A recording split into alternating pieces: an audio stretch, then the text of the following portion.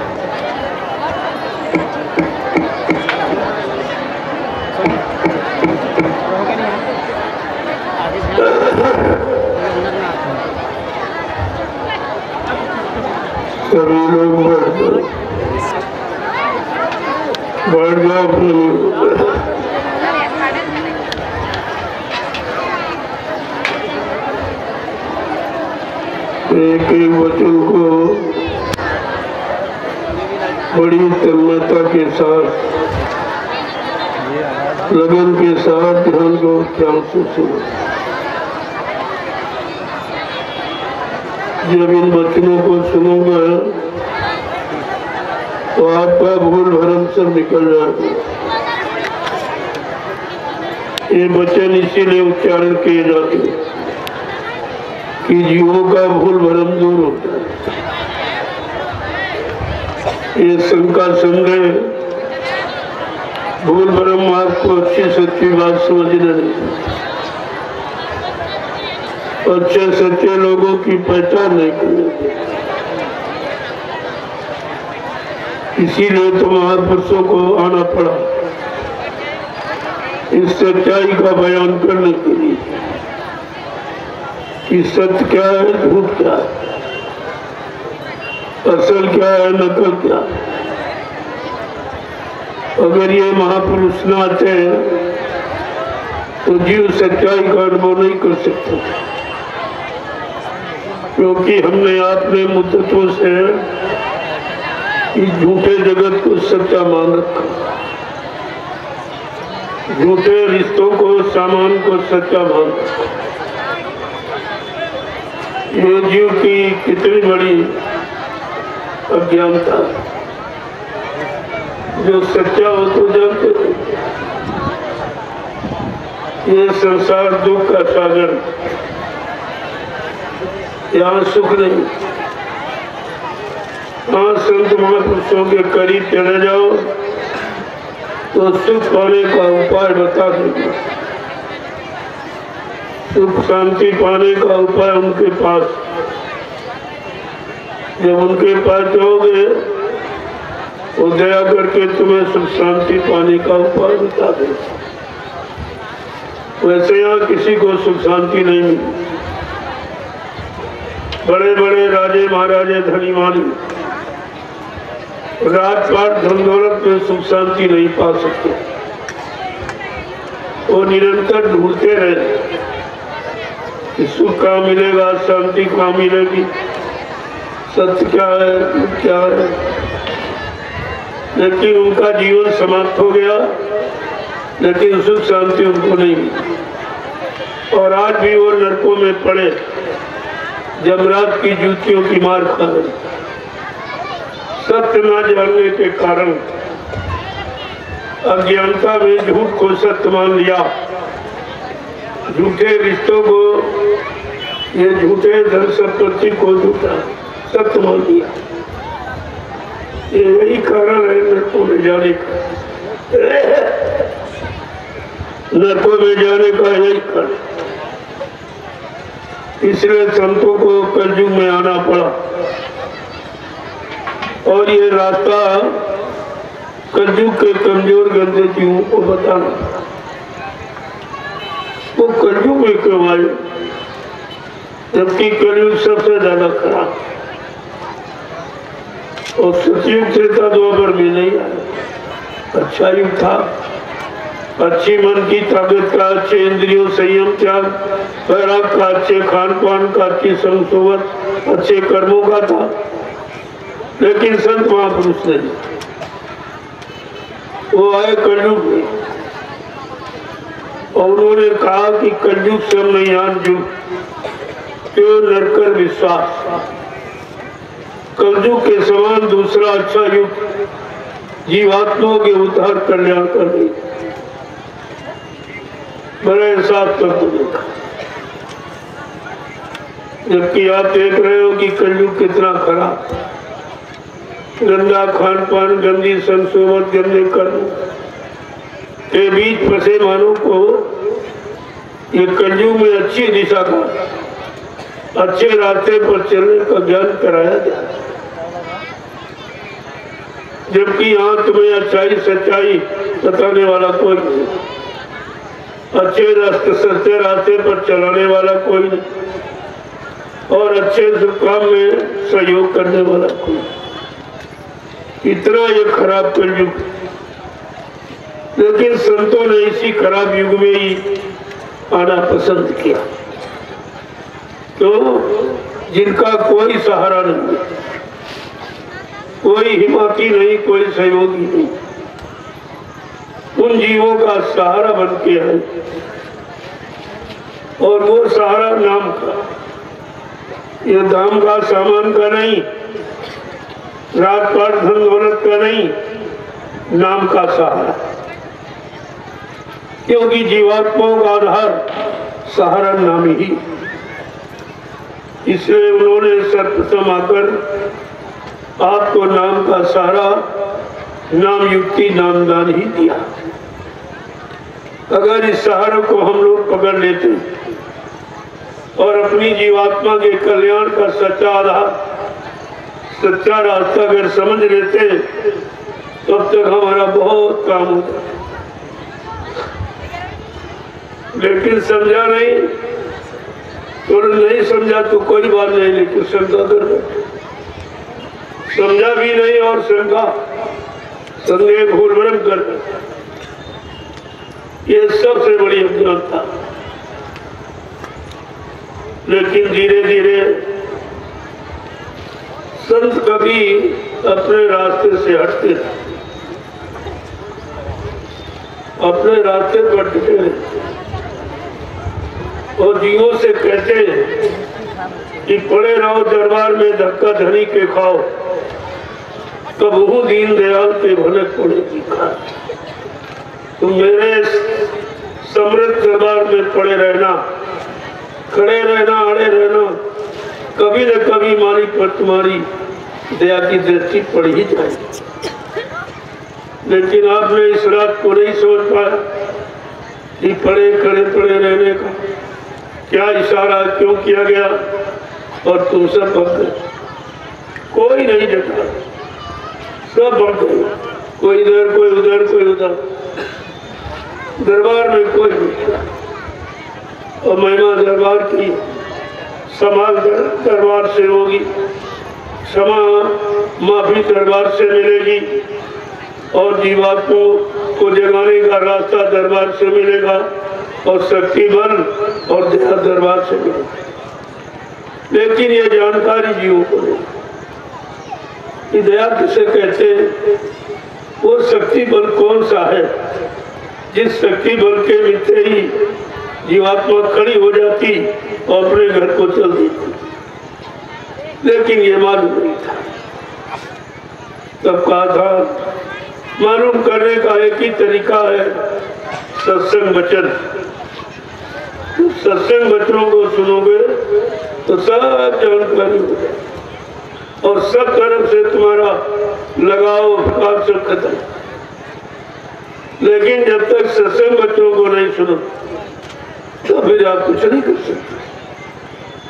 बार बार गोते लगाओगे, उधरी जाओगे जहाँ परेशानियाँ हैं, दुख है, तकलीफ़, जहाँ फसाव है, जहाँ पर मृत्यु है मतलब यानी वही आते और ये बात समझना इतना आसान नहीं।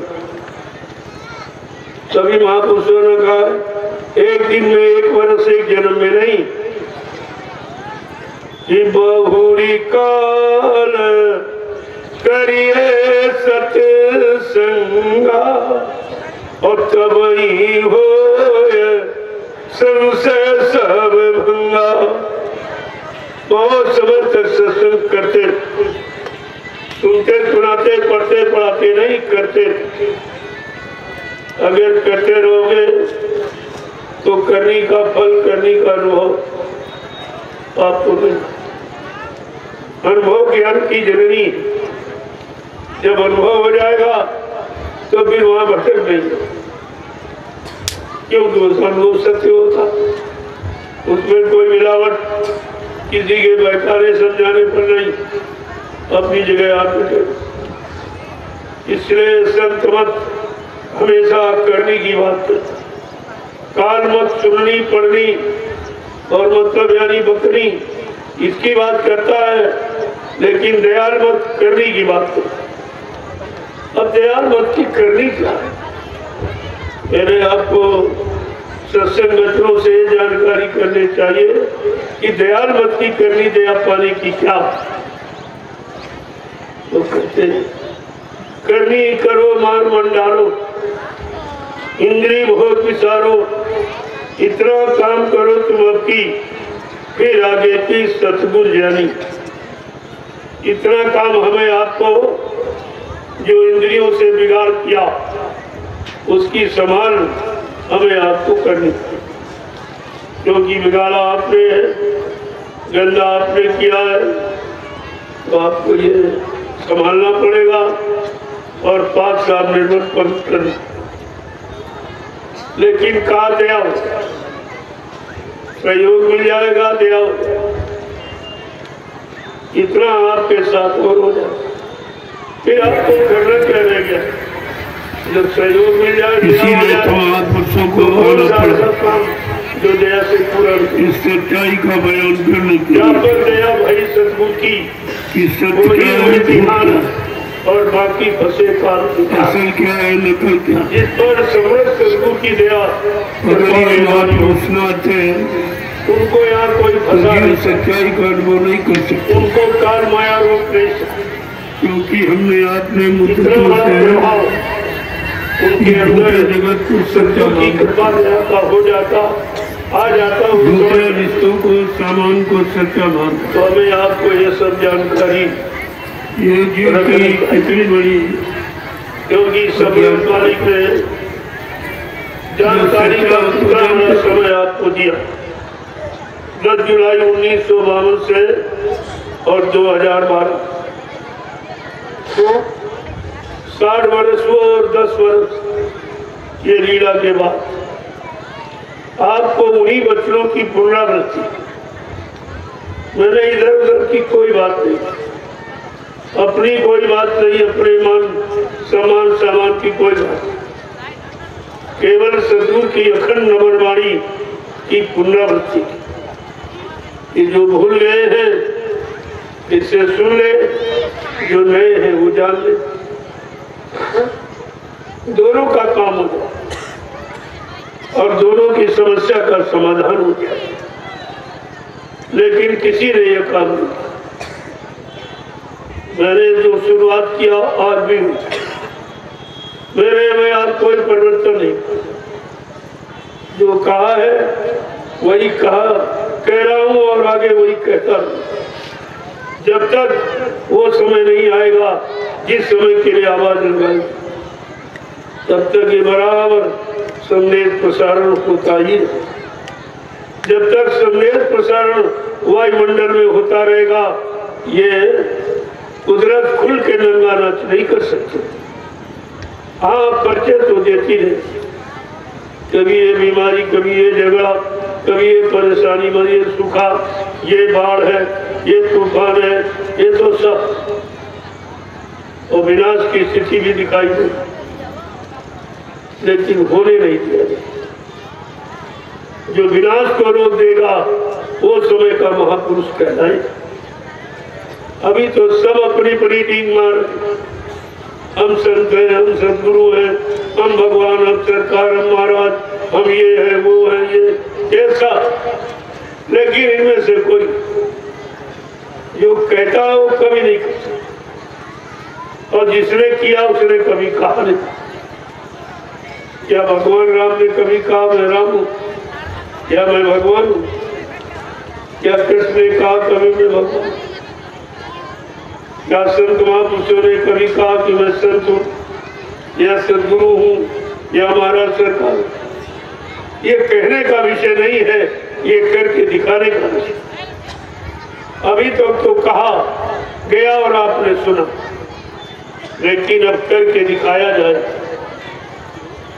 तब जीवों को विश्वास होगा। जो करके दिखा देगा, सिद्ध कर देगा, वो समय का महापुरुष माना जाएगा। तो कहा था, जो विश्व युद्ध को रोक देगा विश्व होने की पूरी तैयारी चारों तरफ़ से हाहाकार मचेगा सब कहेंगे, होगा ज़रूर होगा ज़रूर। जब होने लगेगा, उस होने वाले को जो रोक देगा, वो समय का महापुरुष कहलाएगा क्योंकि विश्व तो होगा। उसमें परमाणु बम अणुबम सब चलेगी। एक एक परमाणु बम अणुबम एक एक देश को नष्ट कर सकता। इतनी विनाशकारी शक्ति। लेकिन जब अणुबम बम परमाणु बम भारत की तरफ़ लेके जाएँगे, वो महापुरुष अपने भारत भूमि को बचाने के लिए ऐसी उल्टी हवा चला देगा। कि सारे कीटाणु उड़कर उसी देश पर चले जाएँगे, वहीं के देश क्षतिग्रस्त हो जाएँगे। प्रेमियों उसको कहेंगे महापुरुष।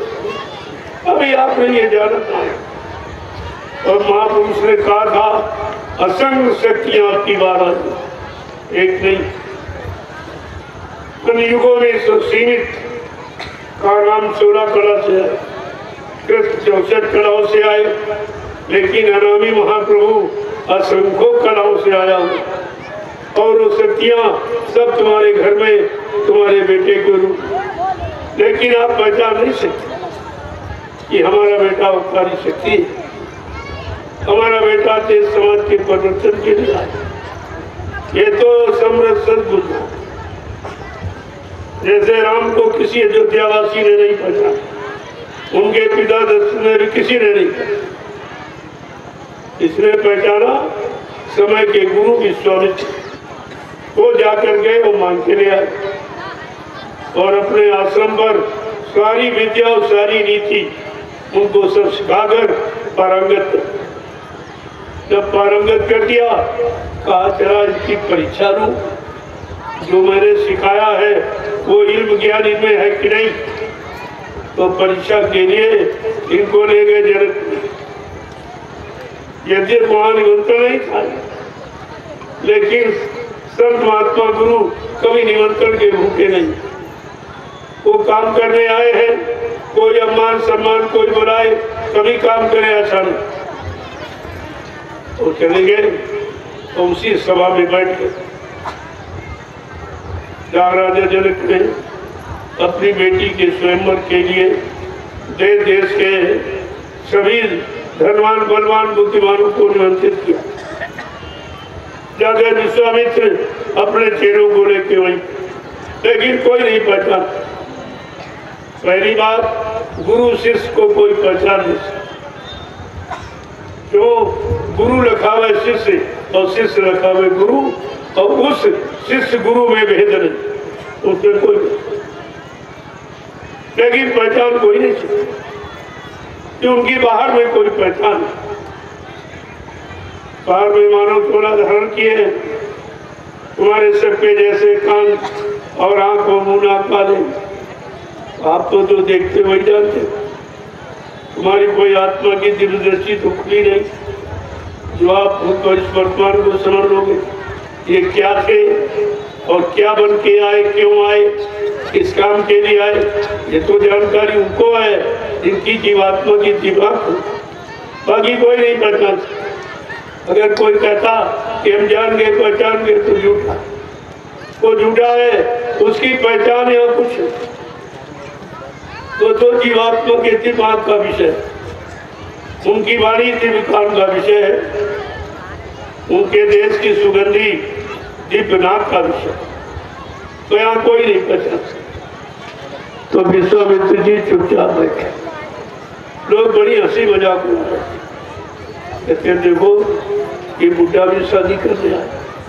इसको भी औरत की ज़रूरत अब उन्हें क्या मालूम कि राजा जनक की अहम समस्या का समाधान गुरु विश्वामित्र की मुट्ठी में। किसी को क्या मालूम कि गुरु के पास क्या है? और कोई नहीं पहचान वो रावण जैसा विद्वान बैठा, बालासुर जैसा बलवान बैठा, बाल ब्रह्मचारी परशुराम भी आ किसी ने नहीं पहचाना और वो राजा जनक स्वयं योगी वो भी नहीं पहचान पाया, गुरु शिष्य मैंने ये प्रसंग इसलिए रखा कि जब उस समय के ज्ञानी ज्ञानी विज्ञानी और सब मतलब यानी त्यागी तपस्वी जब उस समय के गुरु और चेहरे को नहीं पहचान पाए, जबकि विश्वामित्र एक सामाजिक शारीरिक गुरु थे। आत्मिक गुरु नहीं थे, यानी सदगुरु नहीं थे, गुरु थे। जब गुरु को ये सब नहीं पहचान पाए तो हमारे कहने का मतलब आज का भोगी विलासी, ये स्वार्थी लोभी लाजी जीव, क्या सदगुरु को पहचान लेगा क्या समृद्धता दयालु को पहचान लेगा, ये आपको विचार करना चाहिए।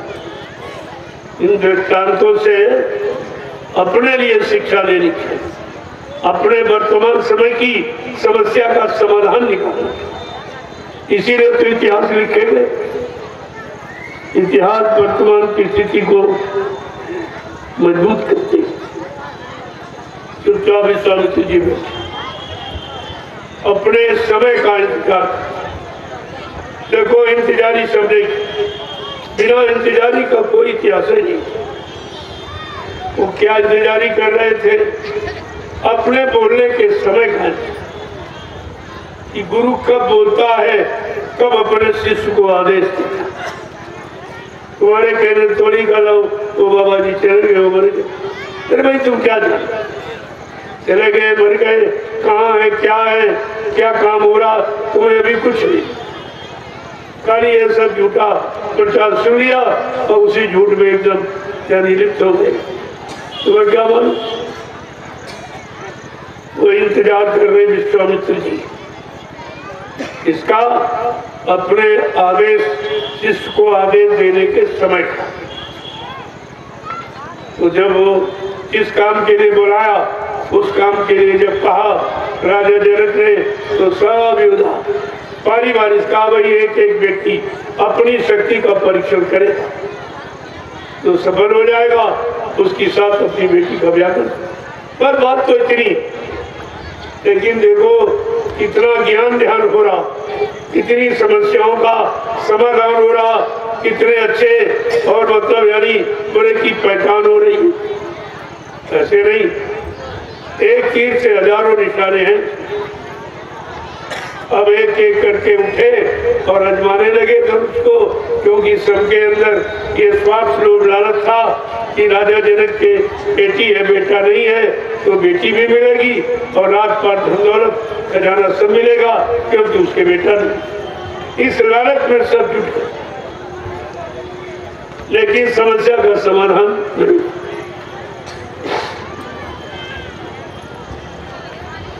तब इनको क्रोध आ गया इस बात का कि हमारा नाम तो बड़े बड़े बलवान, धनवान, बुद्धिमानों में लिया एक छोटा सा धनुष नहीं उठा तो इसमें क्रोध जब मानव के शरीर में क्रोध आता है तो बुद्धि का विवेक ज्ञान समाप्त ये क्रोध का परिणाम एकदम जला देता अब जब बुद्धि खत्म हो गई तो अच्छा निर्णय देखो तो एकदम कहते कि चलो हज़ारों योद्धा ज़बरदस्ती उठो और धनुष को तोड़ता करते मर्यादा बंद जहाँ मर्यादा अनुशासन समाप्त हो जाता है? वहीं पर व्यवस्था बिगड़ जाती अब क्या हुआ? कि हज़ारों योद्धा अब ये नहीं समझ पाए कि एक एक के लिए राजा जनक ने आदेश किया है और हम सब के जा रहे तो आदेश के खिलाफ ये मर्यादा के खिलाफ है। और फिर अगर हज़ारों लोगों से धनुष टूट गया तो सीता का बंटवारा कैसे हो? सब कहेंगे, हमने तोड़ा, हमको मिले, हमने तोड़ा। तो इन्हीं में जगह शुरू हो जाए लेकिन जहाँ पर समय का गुरु बैठा होता जहाँ पर समय का गुरु बैठा होता, ऐसा जघन अपराध नहीं होने। समय के गुरु विश्वामित्र जी बैठे। तो अपराध नहीं। ये गुरु की अप्रत्यक्ष दया ये ऐसा अपराध नहीं। और वो हज़ारों, यानी मतलब वो भी, सहेस भूत सब, एक ही मारा और उठे उठावे तेरे निपटारा। हज़ारों योद्धा उठे, वो भी नहीं उठा पाए, और हारी मान के बैठे। जब सब हार गए तो स्वामी महाराज लिखते हैं, कर चले सब दंड प्रणामा। जब धनुष को दंडवत प्रणाम करके चलने लगे, तब गुरु ने देखा, अब मेरे बोलने का समय उचित देखो, ऐसे गुरु, तुम्हारे कहने थोड़ी चले गए चले गए क्यों नहीं आ रहे, डर गए ये, वो? अरे तुम्हें सब क्या जानो? तुम गुरु का खेल, तुम चेहरे अगर चेहरे का खेल नहीं जान पाए तो गुरु का खेल तुम कैसे समझ तो सब चलने लगे। तो विश्वामित्र ने सोचा, मेरे बोले का समझ की अब सब हार गए, मेरी सब बात सुनो। तब उन्होंने अपने चेले को आदेश किया देखो, दूसरा ये प्रश्न होगा। कि गुरु गुरु चेले को आदेश कब देता। ये दूसरा प्रश्न आपका पहला प्रश्न कि गुरु चेले को पहचानता कौन? और दूसरा प्रश्न हल हो रहा कि मतलब यानी गुरु अपने शिष्य को आदेश कब देता और गुरु कब बोलता। ये तीन आदेश तो कह रहे कि वे स्वामी त्रे समय शुभ जानी और आती स्नेह मृदुबानी कि उठव राम भंजब शिव चापू। और मेटवता पर क्या दे दिया? अपने समय का की शुभ घड़ी शुभ मुहूर्त समझकर विश्वामित्र ने अपने चेले को आदेश किया। कि उठो राम धर्म तोड़ के शादी करो ये नहीं आदेश कहा, राजा जनक, जिस दुख से जल रहा है, इसके दुख को दूर कर। गुरु का आदेश हमेशा दुख दूर करने के लिए होता रात पर धन और मान सम्मान अधिकार पाने के लिए नहीं। तो पांचवा प्रश्न समझते जाइए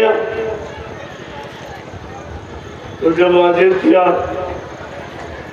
तब संसार शंका वो भी नहीं उठा पाए क्या गुरु ने बगैर सोचे समझे आदेश दे दिया।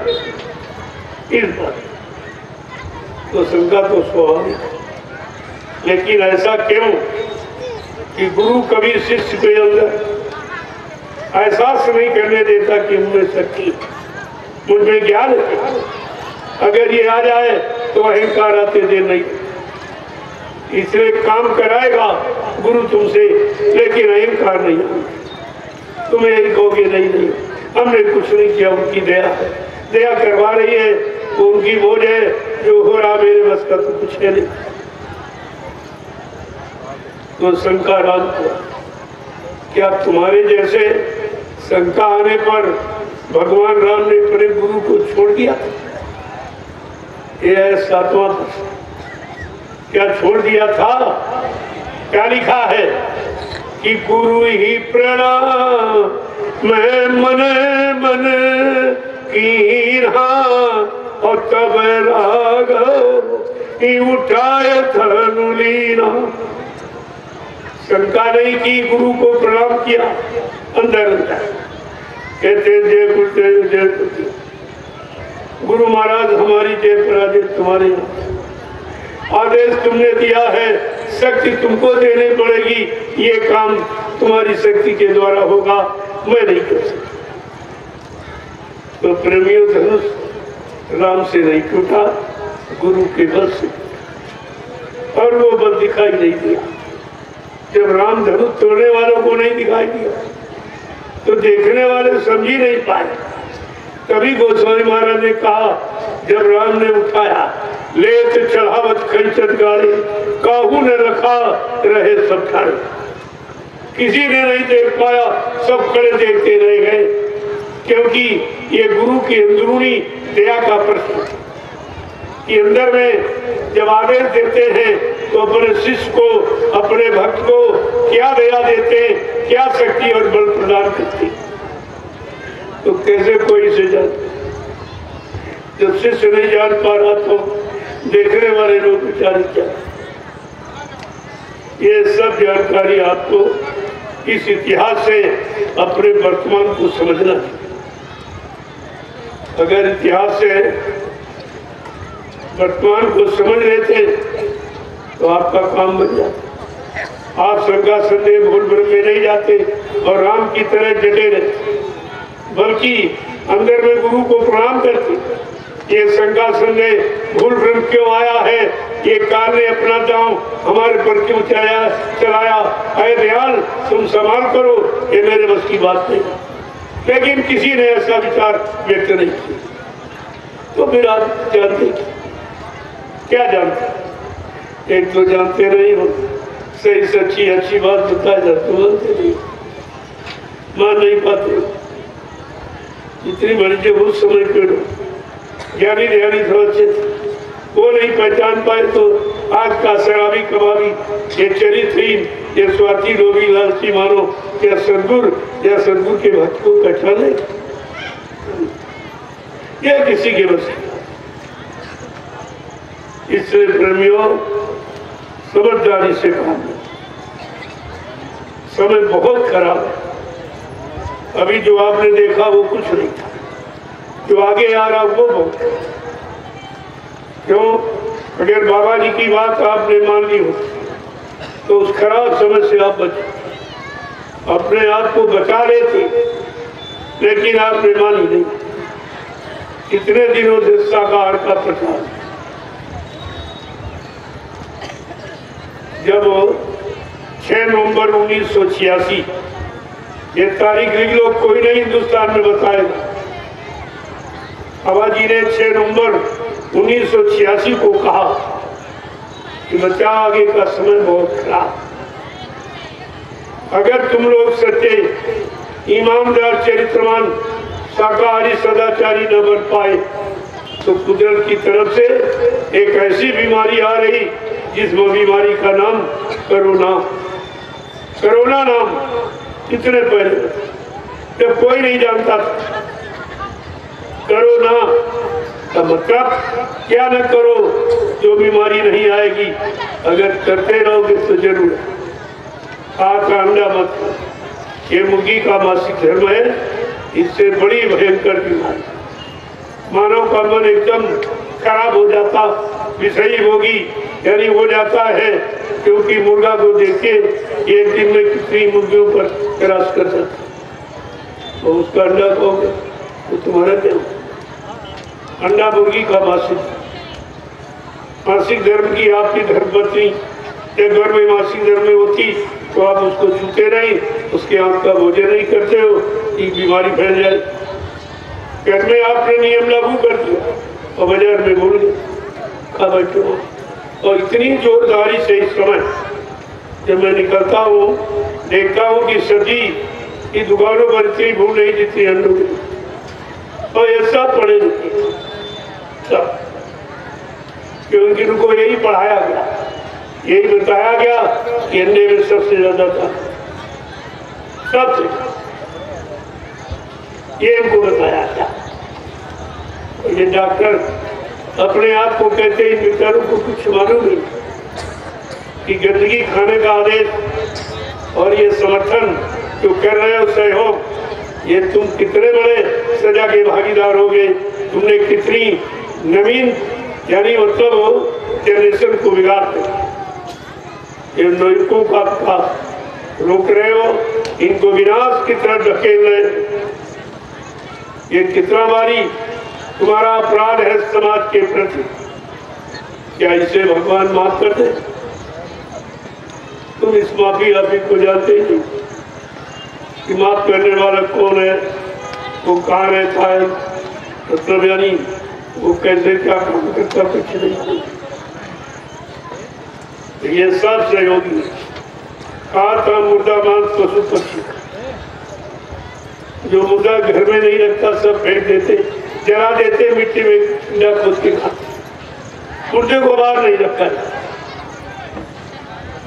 और इसे तुम मनुष्य मंदिर में रख रहे हो, जिसमानी मस्जिद में रख रहे हो, जिस मनुष्य मंदिर में परमात्मा की चेतन मूर्ति जीवात्मा बैठी और जिसमानी मस्जिद में खुदा की रूह बैठी, उस सच्ची मूर्ति के आगे यहाँ नकली पत्थर की मूर्ति के आगे तुम मात पूजा नहीं करते।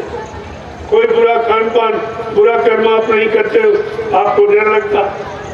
लेकिन जो मनुष्य मंदिर में असली चेतन मूर्ति जीवात्मा परमात्मा की बैठी, लेकिन कोई डरा क्योंकि ये रात तुम्हें मालूम नहीं कि देखने वाला कौन है, वो कहा बैठा वो तुम्हारे अंदर बैठा और वो और परमात्मा की जीवन वो सब देख रही कि सुबह शाम तक आप क्या करते बाबा जी ने इशारा करके, ये भी कहा था, बच्चा, तुम्हारे पीछे कुदरत ने कैमरा लगा दिया जब तुम इंसान के बनाए कैमरे से डरते हो कि वो हमारी सारी सच्चाई खोल देगा, लेकिन कुदरत की बनाए इस कैमरे से आपको बिल्कुल डर क्योंकि उसका आपको ज्ञान नहीं। जो तुम्हारे अंदर बैठे उसका ज्ञान नहीं है तो ये बाहर जो हो रहा है, इसी को देखो। इसी को सत्य मान रहे हो, जबकि सत्य अंदर है। बाहर तो झूठ अंदर में तुम्हारे सत्य है। और सत्य है केवल की सचेतन की बात जीवात्मा बाकी सब झूठ जब तक आप सत्संग नहीं करो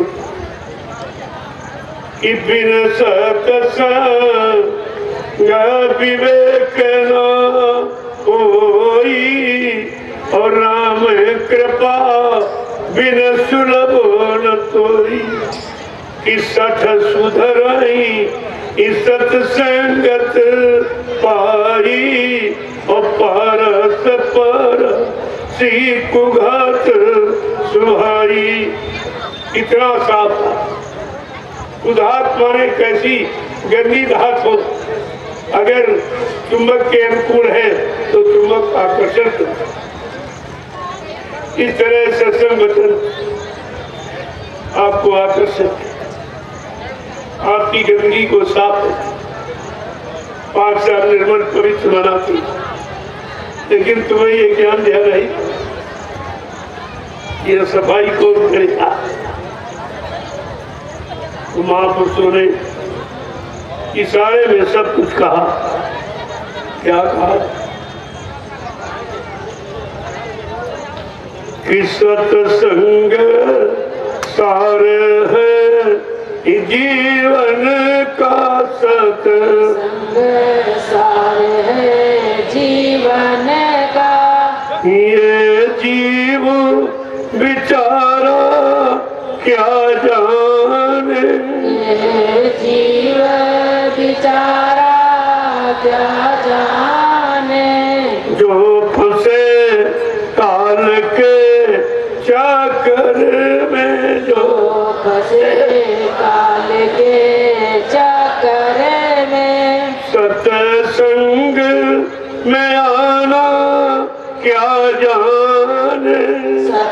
सत्संग में आना क्या जाने?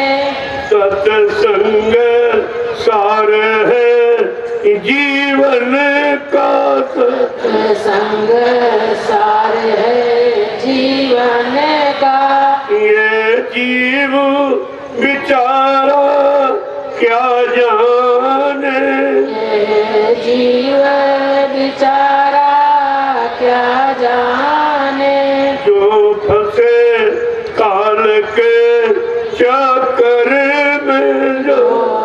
फंसे काल के चक्कर में। सत्संग में आना क्या जाने?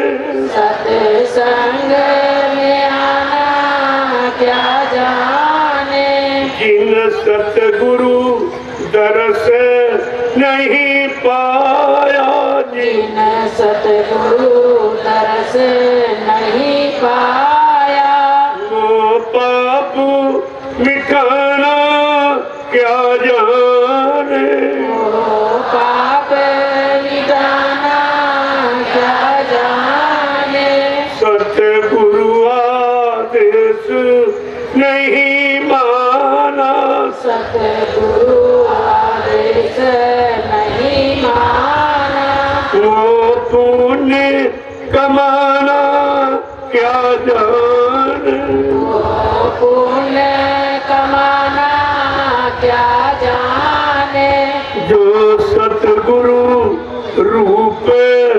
बसा ना सके जो सतगुर रूप बसा ना सके।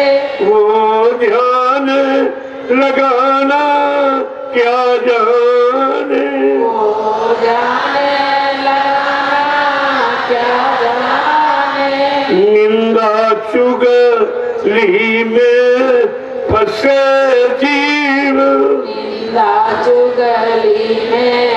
फंसे परमार्थ कमाना क्या जाने? परमार्थ काना क्या जाने?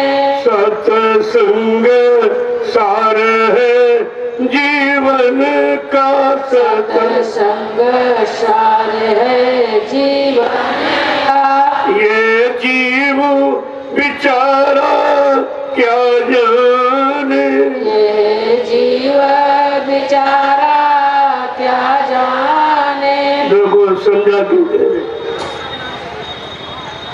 तक आपके अंदर ये सब नहीं होता। तो आप कुछ नहीं प्राप्त कर सकते। आपने सदगुरु को रूप को बसा नहीं पाए दुनिया के चेहरे बसाए बैठे जिससे कुछ नहीं। दुनिया के सामानों को याद कर रहे हो। लेकिन उससे तो आपका कोई काम होगा नहीं। जो करना चाहिए, उससे कितनी दूर हो।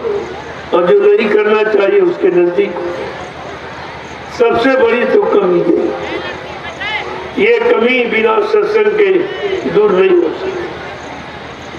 अब वो शिकवा शिकायत के कोई कह रहा हमारा भजन नहीं बनता हमारा सुमरन नहीं बनता।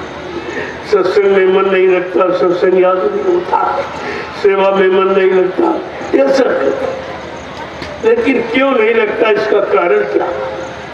बगैर कारण के निवारण नहीं होता। आपका सुमरन क्यों नहीं बनता? पहले समझ लो कि मन मरा न इंद्री, भोग तजा मन भोग तजा वो सुमिरन करना क्या जाने?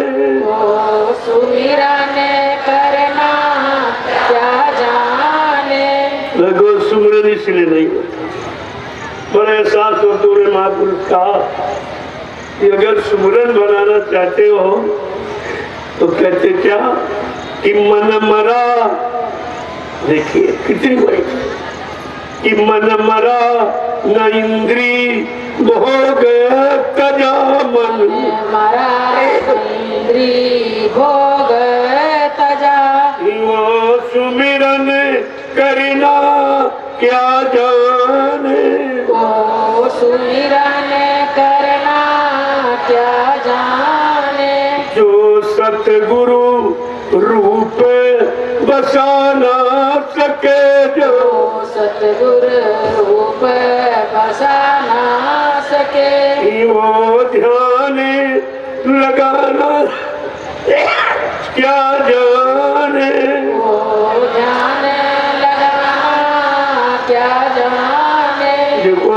सुमरन किस लिए नहीं बनता ध्यान किसी नहीं बनता। ये सब आपके सामने बताया अब है कि भजन क्यों नहीं बनता? तो क्या करें? कि जो सुरती शब्द से जुड़ ना सकी जो सुरती शब्द से जुड़ ना सकी। जो सुरती शब्द से जुड़ ना सकी जो।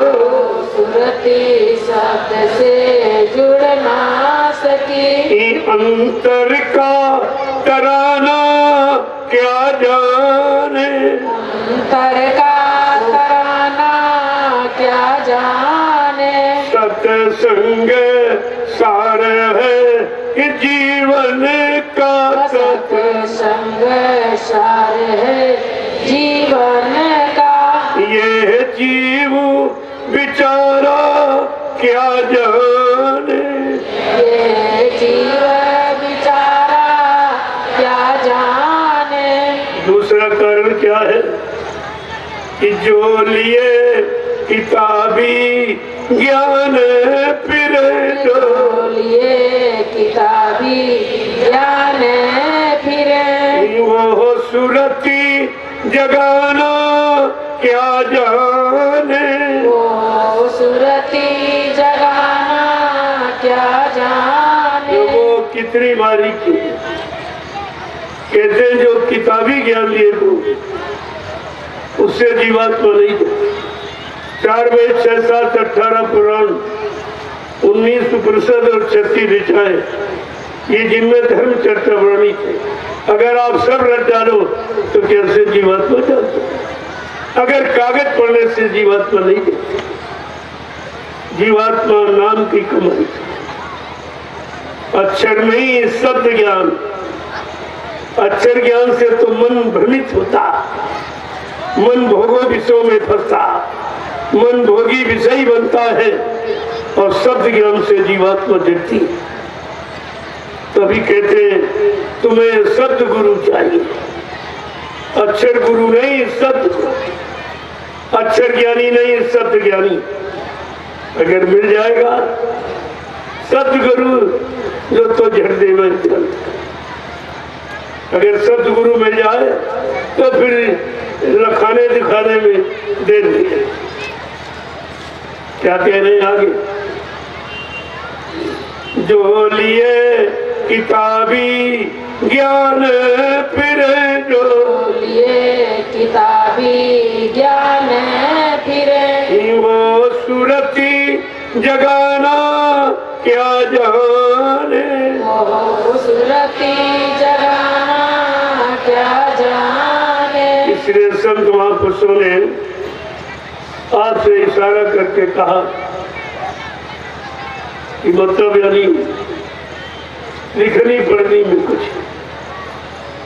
जो है वो करनी भी है। पढ़ना, लिखना चातुरी, ये तो काम सहज, का ये बड़ा सरल है लेकिन काम दहन, मन बस करन यही काम मुश्किल संत मत में ये काम का दमन करना है और मन को बस में। बस अगर आपने ये विद्या जान ली ये विद्या सीख ली तो आप सफल फिर आपको कोई टिका नहीं सकता। आगे क्या करें? कि सतगुरु प्यार मिला जिनको है। सतगुरु प्यारे मिला जिनको अपमान बड़ाई क्या जाने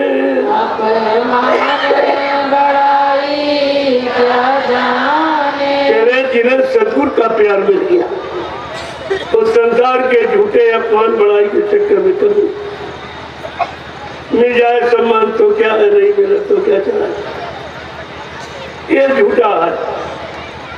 आज इनको सदगुरु का प्यार है।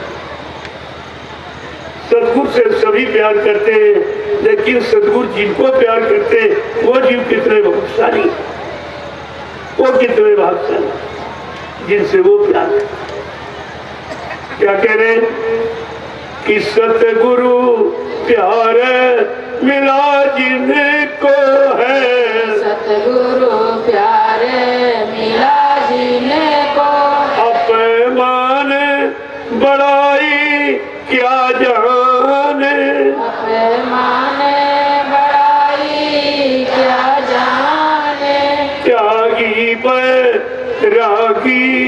साधक को त्यागी। बैरागी साधक को। मानी अभी मानी क्या जाने? मानी अभिमानी क्या जाने? ताते चेत करो सत्संगत। ताते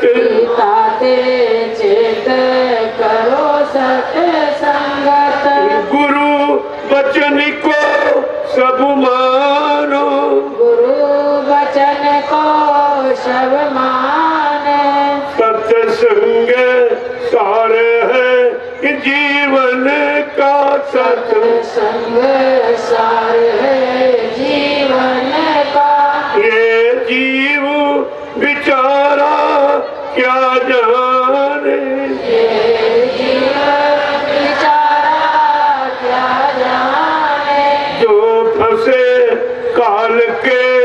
चक्कर में जो।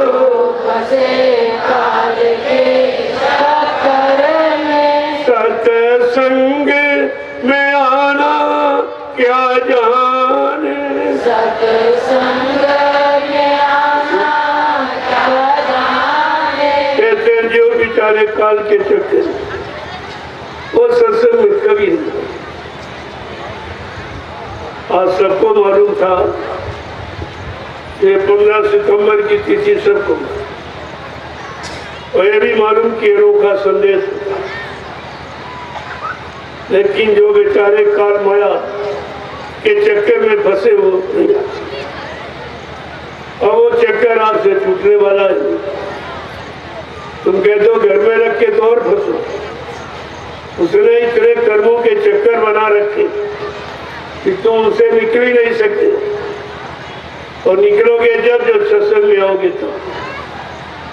ये सत्संग तुमको काल के हर चक्कर से निकाल देगा। हर कर्मों के जाल से अलग कर देगा। हर गंदगी से आपको अलग कर देगा। लेकिन जब सत्संग में भाव से, सेवा भाव से, भक्ति भाव से सेवा जब आओगे तो ये सब कम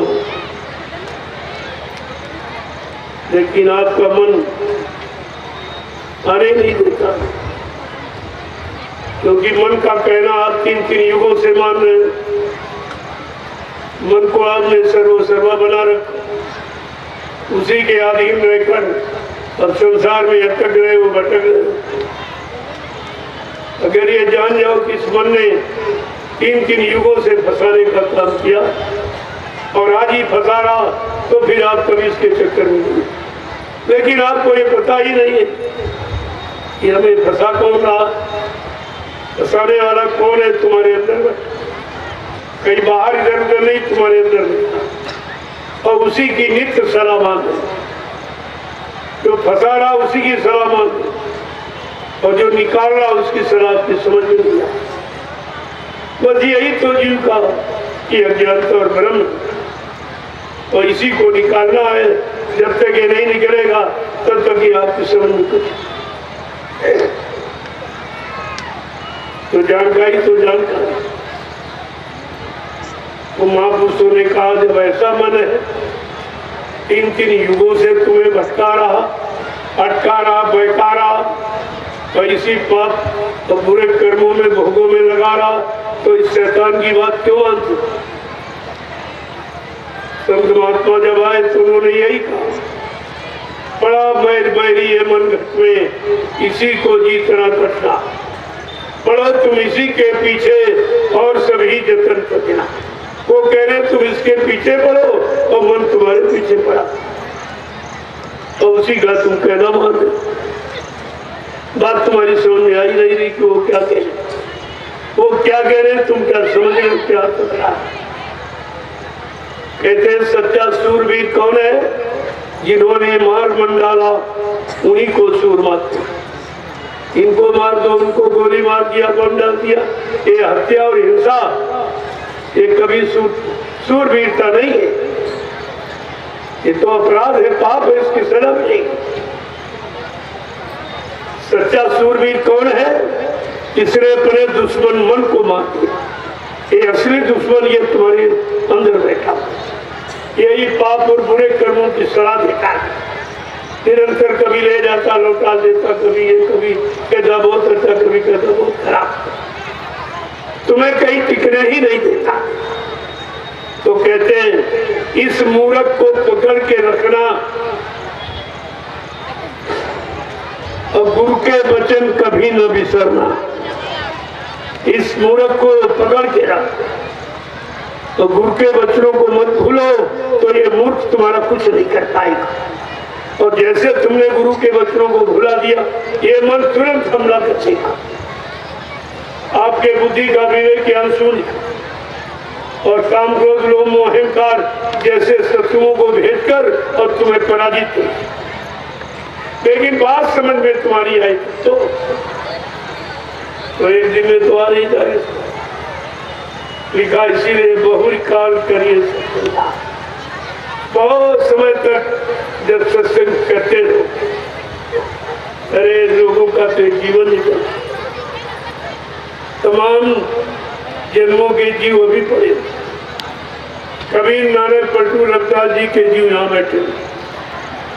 वो निकल नहीं पाए क्योंकि उन्होंने नामदान तो उनसे लिया, लेकिन उनकी बात नहीं और न सुमरन ध्यान भजन। क्या कुछ तो नामदान का फल कि उनको मनुष्य नहीं मिल सत्संगी परिवार मिल गया, लेकिन करोगे नहीं तो फिर अब तो तुम्हें सहूलियत कर दी गई। वैसे किसी युग में किसी संत संत ने, गुरु ने अपने जीवों के लिए इतनी छूट नहीं दी जितनी आज आपको मिली अरे कुछ नहीं तो कहा कि तुम अपनी बुराई सौंप दो, अपने तन को सौंप दो। तो कहते, हम धो दे उसको, साफ़ कर दे। फिर आपका काम सही हो जाएगा, तुम्हें करने नहीं पड़ा। लेकिन वो भी तो आप नहीं करते अपने तन मन को भी नहीं सौंपते उसमें भी कंजूसी करते रहते। सेवाओं में कंजूसी करते। हम देखते हैं कि जब सेवा का समय आता है तो जेब में हाथ डालता। रूता सबसे छोटा वाला नोट मिल जाए तो इसी से दर्शन कर दिया अगर छोटा वाला ना निकला तो कहते चलो आज नहीं करो कहता, आज नहीं दर्शन करो अब बताइए, इतनी तक तुम्हारे अंदर जगह सेवा की नहीं है तो तुम्हें मेवा कैसे मिले? वो लाभ कैसे मिलेगा जबकि ये है तुम्हारा नहीं। ये धन तुम्हारे जेब में है, लेकिन जेब में रहेगा तुम्हारे पास भी नहीं रहेगा, और तुम्हें कोई ले जाने भी नहीं देगा। छूट सब जाएगा तो अपने रहते तुम इससे काम क्यों नहीं कर लेते? ये कितनी बड़ी बर्बाद बना रहा जो सोने चांदी हीरे जवरात के द्वारा पहले के संतों ने नहीं बनाया इनकार कर दिया कि नहीं नहीं कोई तो ये है गुरु की दया। ये दया है तुम्हारे साथ। अब भी अगर चूक गए तो फिर तो आपको पछताना। और ये धन तुम्हारा है नहीं, तुम्हारे पास रहेगा। ये ये माया किनकी भई, क्या मैं जग बोराना हो? का ये कहीं किसी की नहीं और सबको पागल बनाए अरे, लक्ष्मी, विष्णु की पत्नी, तुम्हारे पास आ गई तो तुम्हारी नहीं होगी। तुम्हारी कभी नहीं होगी। विष्णु की पत्नी है लक्ष्मी। आई किसने तुम्हें हंसाएगी, रुलाएगी, आ गई, हंसने लगे, चली गई, रोने लगे। इसी हंसाने, रुलाने में तुम्हारा जीवन समाप्त और समझने भी नहीं देगी। ना हँसी का कारण, न रोने का कारण। कुछ नहीं समझते। देखो, तुम्हारे साथ कैसा हो रहा और दिन रात हो रहा और समझ नहीं पा रही। नहीं समझ। क्योंकि आप समझने का प्रयास नहीं करते। अगर समझ जाते तो फिर। तो संत महापुरुष जब कलयुग में आए, उन्होंने किसी को नहीं पता। न तुम्हारे धन को, न राज, न पाप, न तुम्हारे तन शरीर को, न तुम्हारी खूबसूरती को, न तुम्हारी जाति पाति। उन्होंने तुम्हारे शैतान मन को शैतान मन को पकड़ा और उसी को कस रहे। कभी ये आदेश, कभी वो आदेश। इससे आपको ठोका बजाया जाए। जब अभी हमने आपने ऐसा कहा, अरे भाई, शक्ति की, शरीर की शक्ति को सीमित रखने के लिए, रोकने के लिए आप लोगों ने का प्रयोग अब इतना छोटा आदेश देखो देखो कितने लोग कितने जब इतना छोटा आदेश नहीं आप पालन कर सकते तो करें क्या? और उतना बड़ा लाभ आपको दिया जाए कि अगर आपने कोई भी छोटा मोटा आदेश पालन कर लिया तो उसमें आपको पूरा लाभ तो देखा जाए कि आप परमात्मा को पाने के लिए कि आप क्या क्या त्याग सकते हैं क्या क्या कर सकते हैं, कोई मान सम्मान, अपमान तो तुम्हारे अंदर नहीं आ गया। ये देखा इसलिए लोगों फिर मैंने कहा, भाई ये जो पहनावा वेशभूषा, ये तुम्हारी नहीं। ये तुम्हारे मन को खराब करने वाली और जो लोग देखते उनके मन को खराब करने ये दो नुकसान कर रहे दो अपराध कर रहे हो पाप। अपना मन भी खराब किया और तुमको नंगा देगा तो दूसरे का मन भी खराब ये जो अर्ध नग्न शरीर रखते हो, करते हो, ये भी आप अपराधी करते हैं। अपने लिए भी और दूसरों के लिए। मैं ये तारीख आज ऐसे नवीनतम संदेश को प्रसारित करने की आज ये 15 सितंबर 2023 ये दिन तारीख लोग याद रखें कि ये दिन इस भारत देश को, इस आर्यावर्त को एक आवश्यक संदेश किया गया था जो उसकी गौरव गरिमा का है और ऋषि मुनि महात्माओं की मर्यादा का मैं आज इस तिथि पर वो संदेश देने जा रहा हूँ जो आज तक हिंदुस्तान की धरती पर न किसी ने दिया, न कोई दे रहा, न कोई दे सकेगा आज वो आपको हमारा ये आर्यावर्त भारत ये ऋषि मुनि, ये महात्माओं संतों का देश ये अवतारी शक्तियों का देश ये संत महात्मा फकीरों का देश ये नेताओं का, स्वार्थी रोगी लालचियों का, अध्यक्ष मंत्रियों, वक्ताओं का देश नहीं। ये बात अपने दिमाग से निकाल देनी चाहिए। न उनका है न उनका रहेगा आगे का समय आ रहा, जो ये सारे नाम समाप्त हो जाए न कोई अध्यक्ष, न कोई मंत्री, न वक्ता, न प्रवक्ता, न कोई नेता, न प्रधानमंत्री, न मुख्यमंत्री, न राष्ट्रपति ये नाम। केवल सेवादार एक सेवादार शब्द जो गरूर गुमान घमंड से बिल्कुल अलग। ऐसा शब्द दीनता का ये संत महापुरुषों की परिवर्तन की भूमिका है ये। दीनता का शब्द लागू कि सब लोग सेवादार हो। अगर नहीं सेवा कर सकते तो भजना नहीं तो संसार शरीर परिवार की सेवा अगर ये नहीं हो तो भजन बस सेवादार भजन आनंदी के अलावा तीसरा कोई सकते आगे आ रहा समय उस समय का नाम है दूरदर्शी दूर तक देखने वाला, दूर तक सोचने वाला, दूर तक विचारने वाला और सबके कष्ट मुसीबत को दूर करने वाला, उसको कहते हैं दूरदर्शी। दूरदर्शी केवल महत्व और- ये सब किसी पर लागू वो संत महात्मा पर लागू जिनको दूर तक दिखाई देता। और सबकी समस्याओं का जिसने समाधान निकाला बाबा जी ने क्या से सबको रोजी रोटी दूँगा व्यवस्था बना दूँगा, महँगाई गरीबी, बेरोजगारी को समाप्त कर दूँगा, टैक्सों की भरमार को रोक दूँगा। कितना बड़ा संकल्प। और बिल्कुल आज के देख रेख में उठा इसको सुनकर लोग अभी स्वार्थी लोभी लालची हंस ये सब कैसे हो जाएगी? अरे अंग्रेज़ भी यही कहते थे, जब गांधी महात्मा कहते थे, मेरा स्वराज होगा, मेरी व्यवस्था होगी, मेरा स्वतंत्र शासन होगा, मैं अपने तरीके से जीऊँगा, अपने तरीके से स्वतंत्र आज़ाद रहूँगा ये सुनकर अंग्रेज़ हंसे। कहते, देखो कितना मूर्ख है। जिस व्यवस्था के बनाने में हमको पौनों दो सौ वर्ष लगे ये कह रहा मैं व्यवस्थित मैं अपना स्वराज, अपना राज, अपनी व्यवस्था, यानी बनाऊँगा। ये कितना पागल है। तो अंग्रेज़ों ने बुला के गांधी से पूछा कि भाई ये तुमको कैसे विश्वास हुआ? कि मेरा, मैंने जिस भूमिका व्यवस्था को बनाने में पौने 200 वर्ष खर्च किए और तुम कह रहे हो, मेरा स्वराज मेरी व्यवस्था, मेरा प्रशासन अपने तौर तरीके से रहूँगा अपने तौर तरीके से जीऊँगा। ये कैसे हो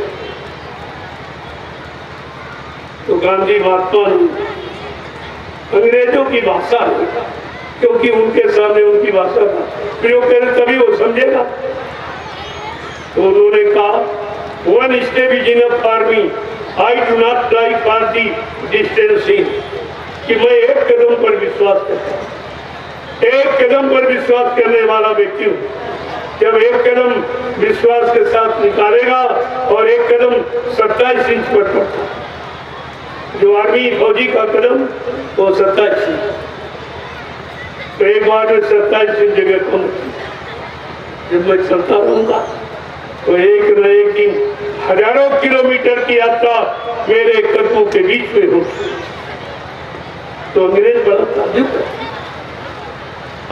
तो गांधी बेचारे, जब कोई उनकी आवाज़ को नहीं सुनता था तो वो खादी कपड़ा ऐसे बगल में डाल कर तो जंगल में जाते थे, पेड़ों से कहते थे, देश आज़ाद हो जाए हमारा स्वराज्य होगा, हमारी व्यवस्था होगी, हमारा प्रशासन होगा, अपने तौर तरीके से जीऊँगा मेरा कानून होगा।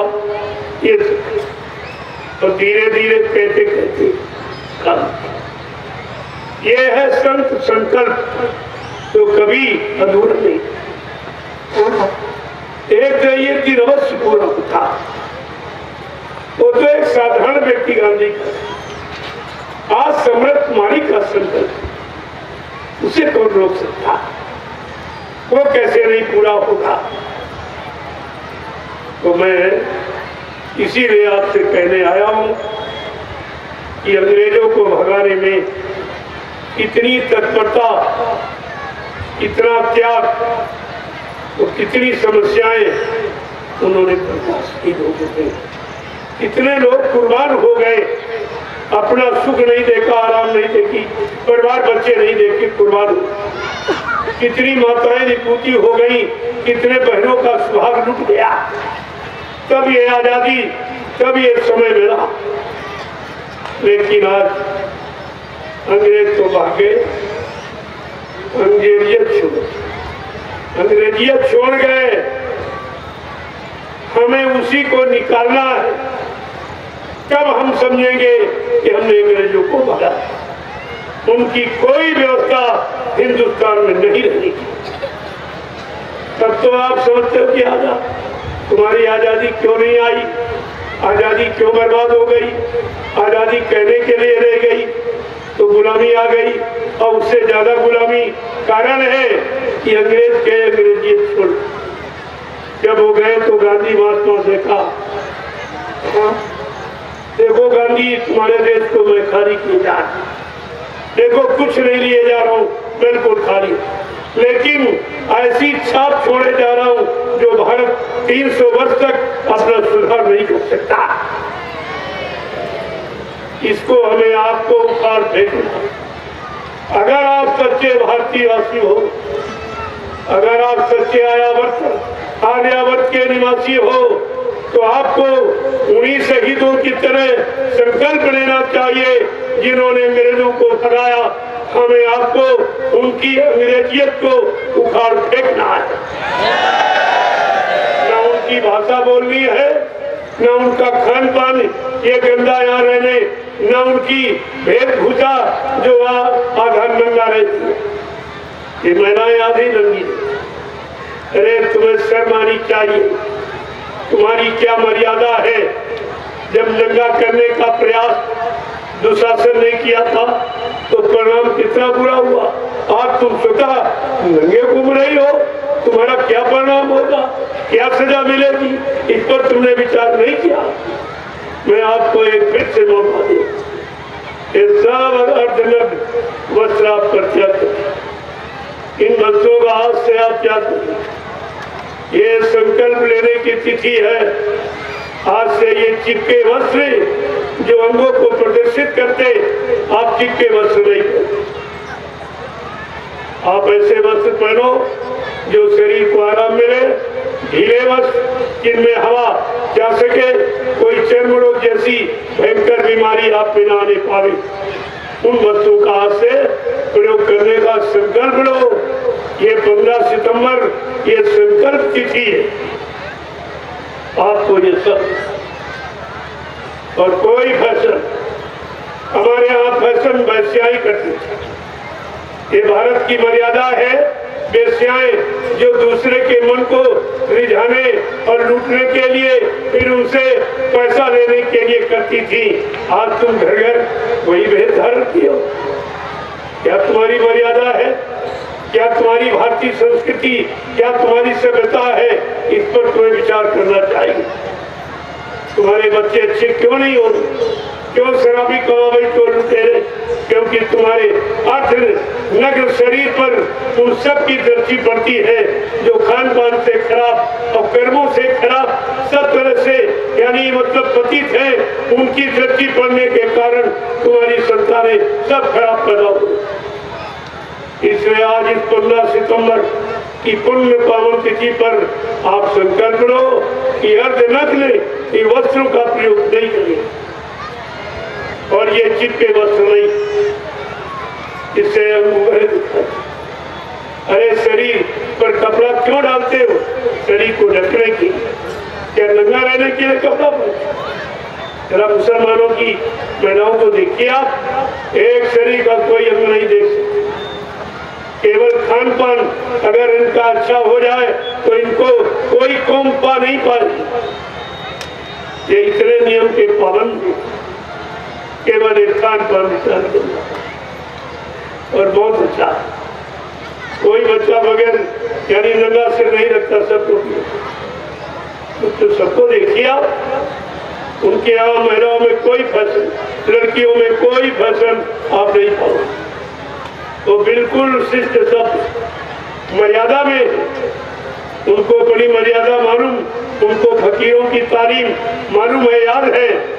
तो उसका वो पालन लेकिन ये भारत की ये नारी सब होती सब होती। तो आपको इस तिथि पर आपसे संकट दूसरा है तुम्हारा भोजन। तुम्हारे लिए तीन आहार है।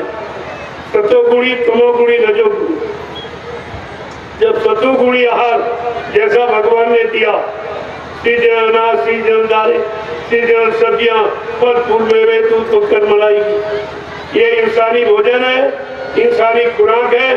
तुम्हारे शरीर के जो मशीन भगवान ने बनाई, उसका ईंधन यही है। जब ये ईंधन डालोगे, ये मशीन सुचारू कोई बीमारी नहीं, कोई किसी तरह के झगड़ा और झंझट किसी तरह का नहीं। क्योंकि मन आपका दूषित नहीं होगा, मन आपका खराब नहीं होगा, मन आपका विकृत नहीं होगा तो कोई अनैतिक कार्य नहीं करेंगे। ये ये विचार, जब से आपने विदेशी खान पान ये अंडा मुर्गा, ये सब आपने अपनाया तो देखो कहा जा कितना अत्याचार गया कितनी नारियों का चरित्र लूटा जा कितनी लड़कियों को खराब किया जा रहा। ये देश की नारी महिला का अपमान और मर्यादा सब समाप्त हो गई। तो विनाश होना निश्चित जब एक नारी सीता के अपहरण पर कितना बड़ा विनाश हुआ लंका और एक नारी द्रौपदी को नंगा किया जाने का प्रयास जब किया, उसकी साड़ी जब खींची गई से नंगा कर दो तो कितना भारी जन संहार हुआ, ये इतिहास भूल गया। और आज तो खुलेआम सब हो रहा। सब अपने शरीर को खुद ही नंगा करके दिखा रही। बड़ी शौक है। इनमें इसकी मर्यादा ये भी नहीं मानो हुई कर क्या इसका परिणाम कितना बुरा हुआ। सब आपको विचार करना चाहिए। आज की तिथि मैंने इसी कार्यों के संकल्प के लिए रखी। ये खर्च। फिर दूसरा दूसरा खर्च। तीसरा भाषा। हमारे हिंदुस्तान की भाषा हिंदी और संस्कृत। आज पूरा विश्व हिंदी भाषा को अपनाने का प्रयास कर रहा सब देशों में हिंदी अनिवार्य हो गई। और तुम्हारे देश की धरोहर और तुम सब भूल सब भूल गए? विदेशी भाषा का प्रयोग करके विदेशी भाषा को स्थान देकर तुमने उसका सम्मान किया है। अपनी हिंदी संस्कृत भाषा का खुलेआम अपमान किया। ये दोष है। इसकी सजा आपको भोगनी पर। इन जिम्मेदारों ने जिनको अधिकार मिला है, भारत देश में शासन करने का जिस भारत भूमि पर भगवान राम ने राजनीति की भगवान कृष्ण ने।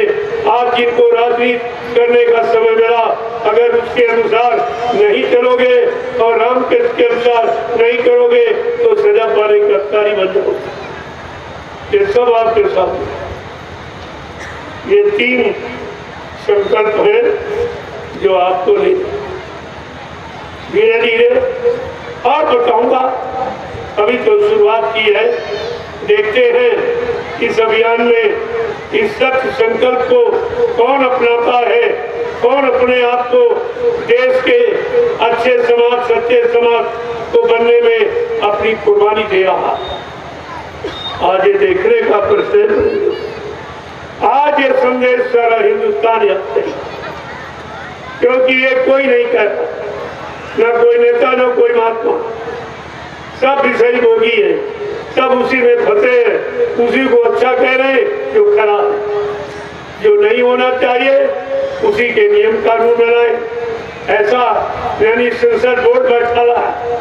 तो ये जितनी एडल्ट फ़िल्में, ये सब वही मतलब उनको मानता थी परमिशन देती देखो तो पहले कैसी बुद्धि हो गई। तो कोई न कोई तो कहने वाला होना चाहिए। जैसे महाभारत कोई नहीं बोला, लेकिन कोई ना कोई बोलने वाला था। वो तो कौन था? महात्मा विदुर। महात्मा विदुर। सब कहने की हिम्मत केवल समय के महात्मा किसी वो महान आत्मा जो परिवर्तन करने आई तो सबको सत्य का संदेश देगी और सत्य के रास्ते पर सबको चलने के, के लिए प्रार्थना करेगी। तो नहीं मानोगे तो सजा पा जाओगे। लेकिन वो सत्य का अभियान कभी बंद नहीं।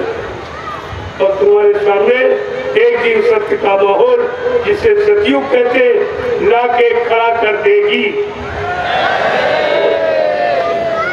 ये सब आपको ध्यान रखना।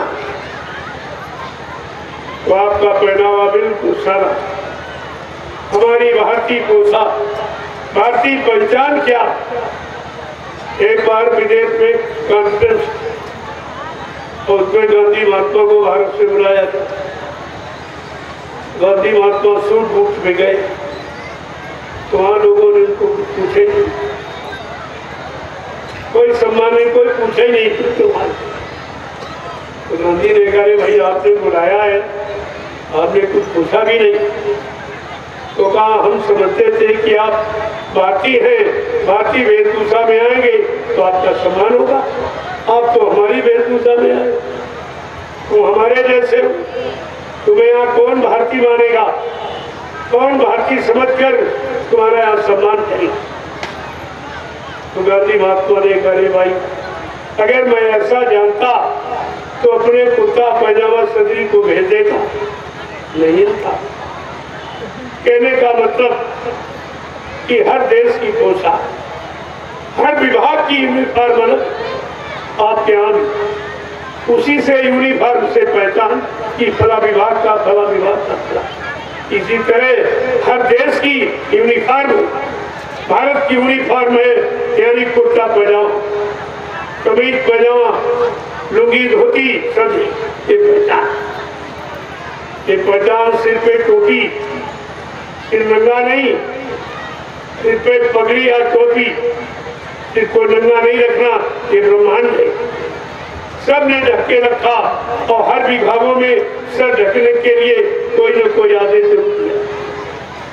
अब विभाग एक के साथ कुछ कैप लगाए सबके सिर पे अब वो न लगाए, मर्यादा नहीं जानते बेचारे तो बड़ी मर्यादा जेब में डाले सिर पे नहीं रखी, मर्यादा जेब में डाल जेब में टोपी डाले अब उनको इसका ज्ञान ही नहीं कि मर्यादा क्या है। हमारे देश तो प्रेमी हो ये सब जानना है। आज से आपको संकल्प लेना है। जो कुछ किया, सो किया। लेकिन अब अब लो निशानी, अब ना नसैयों अब तक मैंने भारतीय मर्यादा को खराब किया, नष्ट किया है, लेकिन अब नहीं। अगर भारतवासी हूँ तो भारतवासी के नाते हम सारी भारतीय मर्यादाओं का पालन करेंगे। चाहे वो यानी पहनावा हो, चाहे वो भाषा हो, चाहे वो खान पान हो, चाहे वो कर्म है, हम सब वही करें तब तो आप भारतवासी कहे जाओगे। इसीलिए आज हिंदुस्तान में कोई हिंदुत्व नहीं, किसी में नहीं, क्योंकि कोई हिंदू कहने को तैयार है अल्लाह तो बता रहे हिंदू किस प्रतिशत बन गया, ये बन गया, वो बन गया, लेकिन उनसे, उनमें जो लोग हैं उनसे पूछो, तुम अपने को हिंदू क्यों नहीं कहते? तमाम जातियाँ क्यों लिखते हो? कि हम ये है, वो है, ये है, लेकिन हिंदू कोई नहीं कह रहा। जब कोई हिंदू कहीं नहीं रहा तो हिंदुस्तान में हिंदुत्व कैसे कायम रहेगा? इस पर तो आपको विचार करना हो। आज नहीं तो कल हमारी नेक सलाह आपको मानी पड़ेगी। इससे आप बच आपको मानी पड़ेगी। मुसलमान में भी तो जातियाँ हैं। उनसे पूछो तो सीधा कहेगा मुसलमान? सिख कहता, मैं सिख हूँ। ईसाई कहता, मैं ईसाई हूँ। लेकिन हिंदू कोई नहीं कहता, हम हिंदू। सब उस जातियाँ बताता हम ब्राह्मण हैं, क्षत्रिय हैं, हम ये है ये है। उसमें भी उपजातियाँ जोड़ के बताएगा। हम बनाने दिखाने कोई हिंदू कहने को तैयार नहीं। इनको शर्म नहीं आती तो हिंदू परिषद का नाम लेने के लायक भी नहीं। जब तुम अपने आप को हिंदू कहने में शर्माते हो, शर्म रखती है तो किस मुँह से तुम हिंदुत्व की परिभाषा लोगों को बताना चाहते हो? ये सब आपको ध्यान रखना। मैं तो अभी इशारा कर रहा हूँ। समय जैसे आता जाता रहेगा अभी बहुत कुछ कहना। पहले धीरे धीरे वज़न आप पर रखूँगा धीरे धीरे भारतीयता का अर्थ, आर्यावर्त का अर्थ, तब तुम्हारी समझ में समा जाएगा हम आर्यावर्त, हम भारतवासी हैं कि नहीं? हमारे में भारतीयता है कि नहीं?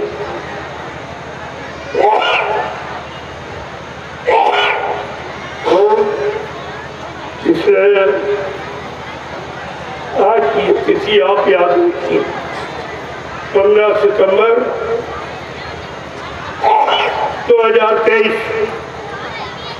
को आप याद रखें क्योंकि आज जो ये संकल्प किया जा रहा है, इतने जनमानस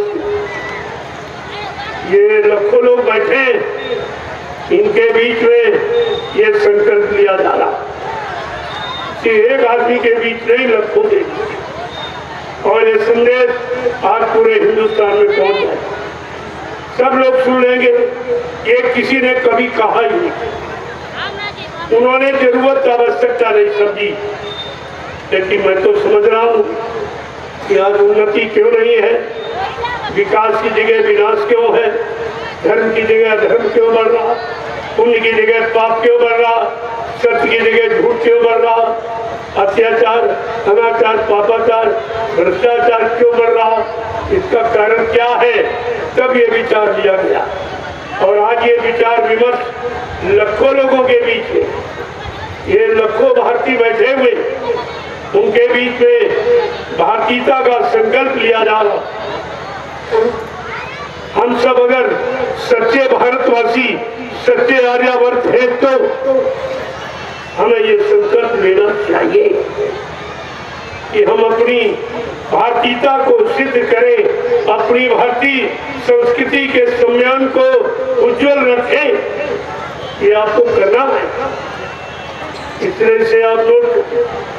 और सब जगह भेज सबके पास, सब सरकारें जान लें कि आपको क्या करना है। मैं तो आपके संगठन को मज़बूत कर रहा हूँ। अगर ये आप बात लागू कर दो, आपका संगठन मज़बूत मुझे तो कोई चंदा नोट वोट की ज़रूरत नहीं।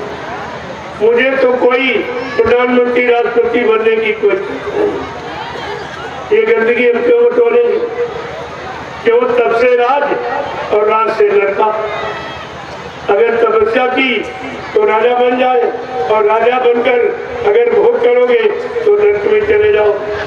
ये गंदगी कौन स्वीकार करेगा?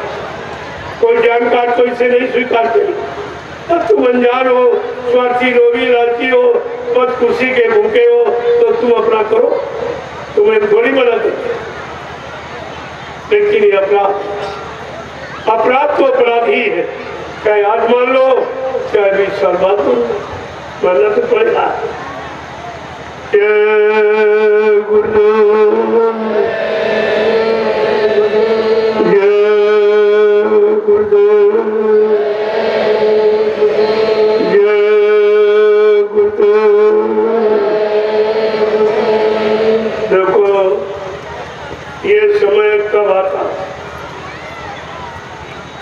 समय कब आता कौन सी चीज़ चली जाती जब खराब समय मानव के मन मस्तिष्क से किन किन बातों का सफाया हो जाता है तब ये खराब समय प्रेम, सेवा, दया, सदाचार, परमात्मा की यादगार माँ बहन बेटी, बहू की परख पहचान। जब इन बातों का सफाया हो जाता ये बातें सब निकल जाती हैं, तब खराब समय। मैं ये लिख के दे सकता हूँ, कोई नहीं कोई क्योंकि ये, जो ये कर रहे हैं, ये रहने का विषय ही नहीं। इनको ये मालूम नहीं है कि देश में सच्ची सुख शांति ये भाषण से नहीं आती। धर्म की स्थापना प्रवचनों से नहीं होती। किताबें पढ़ने, सुनाने से नहीं, धर्म आता। धर्म धारे, धर्म तो धारण का विषय जब इसे धारण किया जाएगा, अपनाया जाएगा, तब तो संभव है कि धर्म आ नहीं तो आप लोग ये आवाज़ ये कितना समय खराब है?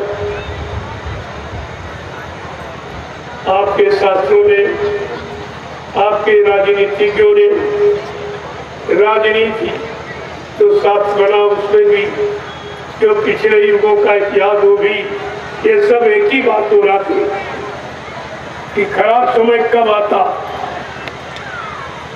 कि जब जब हो यह धर्म की हानि और बढ़े धम अभिमानी कि तब तब प्रभु इधरी मनुज शरीरा और कृपा निधि सचन पीरा। कितना साफ़ साफ़ जब मानव समाज, मानव इंसान, मानव परिवार में ऐसा धर्म की हानि हो जाती। मानवता इंसानियत खतरे में पड़ जाती माँ, बहन, बेटी, बहू की परख पहचान जब मानव के दिमाग से चली जाती, तब खराब हुआ। उस खराब समय को अच्छे समय में परिवर्तन के लिए परमात्मा की तरफ़ से कोई शक्ति अवतरित इसके लिए धर्म की स्थापना के लिए सबको समझाने बुझाने के लिए नहीं मानते तो मार काट करके समझाते हैं। यानी मतलब इस तरह। और बच्चों की मदद इतिहास तो ये बता रहा। हमारी गीता भी यही कह रही कि यदा यदा ही धर्म ग्लानिर्भवती भारत।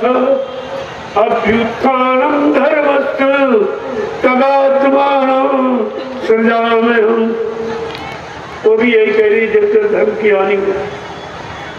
तो धर्म माने क्या? धर्म की परिभाषा क्या? किसी धार्मिक व्यक्ति से विद्वान से पूछो तो आपसे यही कहेगा कि पूजा करो, पाठ करो तीर्थ करो करो। हमन जब जब ये करो स्नान करो। अरे प्रेमियों, करो माने कर्म, और धरो माने धर्म। जो धारण किया जाए, वो धर्म है, और किया जाता वो कर्म। ये तो सब कर्म हुआ, धर्म है। धर्म माने व्यवस्था। व्यवस्था को धर्म कहते और व्यवस्था बुरे कर्मों से बिगड़ती है, और अच्छे कर्मों से व्यवस्था है। आज यही कारण है कि हम सब बुराइयों में चले गए। बुरे खान पान में फंस गए। बुरे संग सोबत में चले गए। बुरे कर्मों में चले गए। इसलिए माहौल वातावरण बुरा हो गया, खराब हो लेकिन गीता इतना कह के शांत नहीं हुई, क्योंकि आगे कलयुग है। गीता कलयुग के लिए क्या कह रही? कि परित्राणाम साधु नाम विनाशाय दुष्कृताम, धर्म संस्थापन संभवामी युग। आगे कलयुग आ रहा है। दुख, तकलीफ़, मुसीबत, आपत्ति, बीमारी, महामारी, लड़ाई, झगड़ा, इनको खत्म करने के लिए, रोकने के लिए साधु संत महात्मा आएँगे साधु नाम विनाश या दुष्ट ये दुष्ट, यानी जो खान पान है, खराब दूषित दूषित प्रदूषित जो खान पान जिससे आपकी भाषा बोलने की शिष्टाचार की शब्दावली समाप्त हो गई। ये साधु संत महात्मा उनके द्वारा धर्म की स्थापना नवीनतम मनोधर्म की स्थापना मनोकर्म की स्थापना होगी, उनके द्वारा। देखो गीता ये भी कह लेकिन आप इस बात को भूल गए समझी नहीं कि परित्राणा का मतलब क्या? तो साफ़ साफ़ शब्दों में लिखा गया और ये नहीं मानोगे तो आपको मानना पड़ेगा। कुदरत मजबूर, लाचार कर देगी। आपको मानना कोई कितना अहंकार करे, कोई धनबल जनबल यानी दिखावे, लेकिन मानना पड़ेगा क्यों मनुष्य बली नहीं होते? समय होत बलवान, और भिल्लन रूपी गोपिका कोई अर्जुन मान समय ने सबको ठीक कर दिया। समय सबको ठीक कर दिया। आप भी ठीक हो जाओगे, चिंता मत करो। लेकिन पहले सुन तो लो, ताकि ये न कह सको कि किसी ने हमको बताया नहीं था। किसी ने याद नहीं दिलाया। मैं तीनों युगों की बात याद दिला रहा हूँ और कलयुग में जो होने जा रहा, उसकी भी जानकारी आपको दे आप ये तो कहीं नहीं सकते कि हमको किसी ने बताया।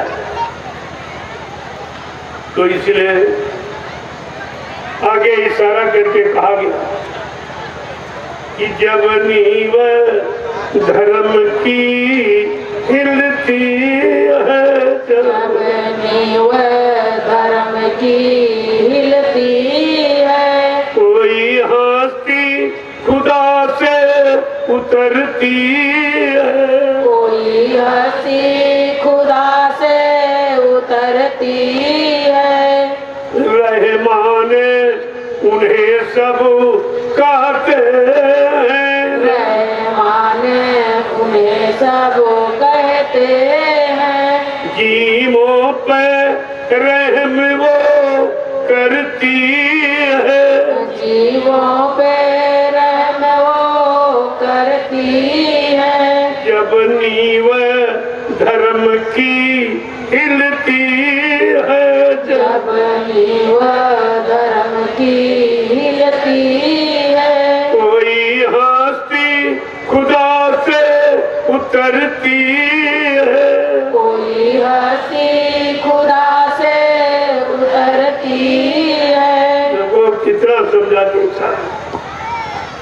जब धर्म की नींव हिल जाती तब खुदा परमात्मा की तरफ़ से और मानव शरीर में कोई न कोई शक्ति का प्रादुर्भाव आती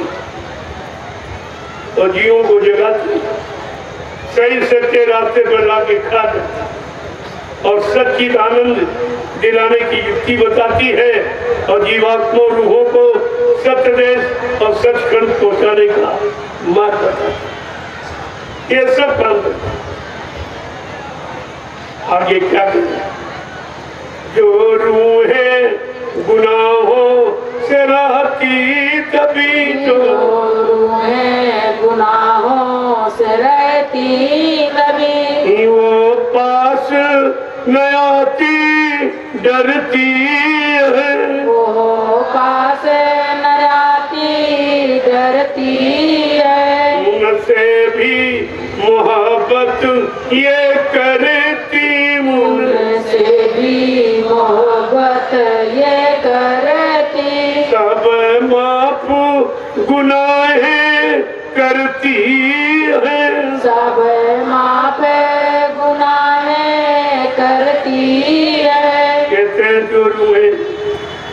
जिन्होंने गुनाह किया, पाप किया, हिंसा मार काट किया है, वो उनके पास आने में डरती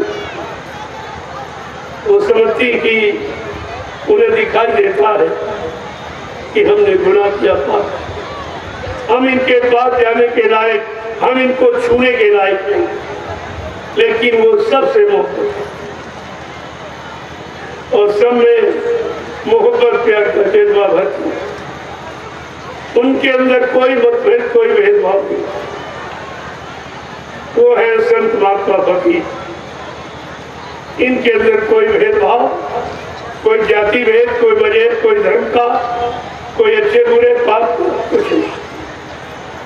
क्योंकि जो धोने आया साफ़ करने, वो गंदगी से परहेज करेगा तो गंदगी नहीं धोएगा धो नहीं सकता तो उनको आपसे कोई परहेज आपको छूने से कहने से बताने से कोई कि जो सुधारने आया है, जो साफ़ करने आया है, अगर गंदगी से परहेज करेगा, बुराइयों से परहेज करेगा, पाप कर्मों को देखेगा तो कभी जीव के पाप कर्म खत्म नहीं ये उनका अपना आगे क्या है? कितना खराब समय। कि मखलू को की गर्दन कटती है मखलू लोगों की गर्दन कटती है। खातूनों की असमत लुटती है। खातूनों की असमत लुटती है। अल्लाह के ईमान वालों पर अल्लाह के ईमान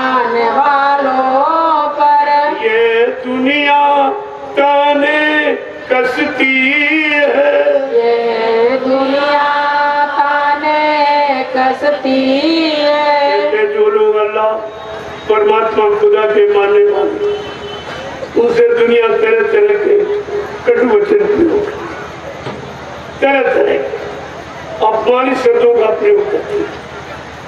क्योंकि उन्होंने तो ये रात मालूम नहीं ये गुना कर रहे हैं उनको, अपने गुना भी नहीं मालूम कि हम क्या पाप, क्या गुना कर रहे हैं। लेकिन ये संत महापुरुष उनके गुनाहों को कभी नोट कभी उसको अपने अंदर बुराई के रूप में नहीं।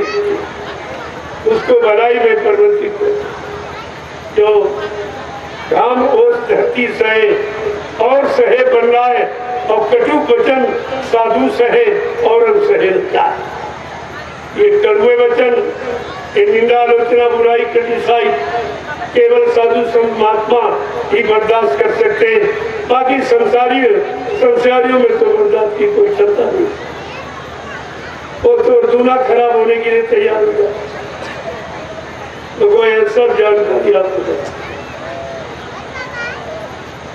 कि रहमत वो मोहब्बत की दुनिया।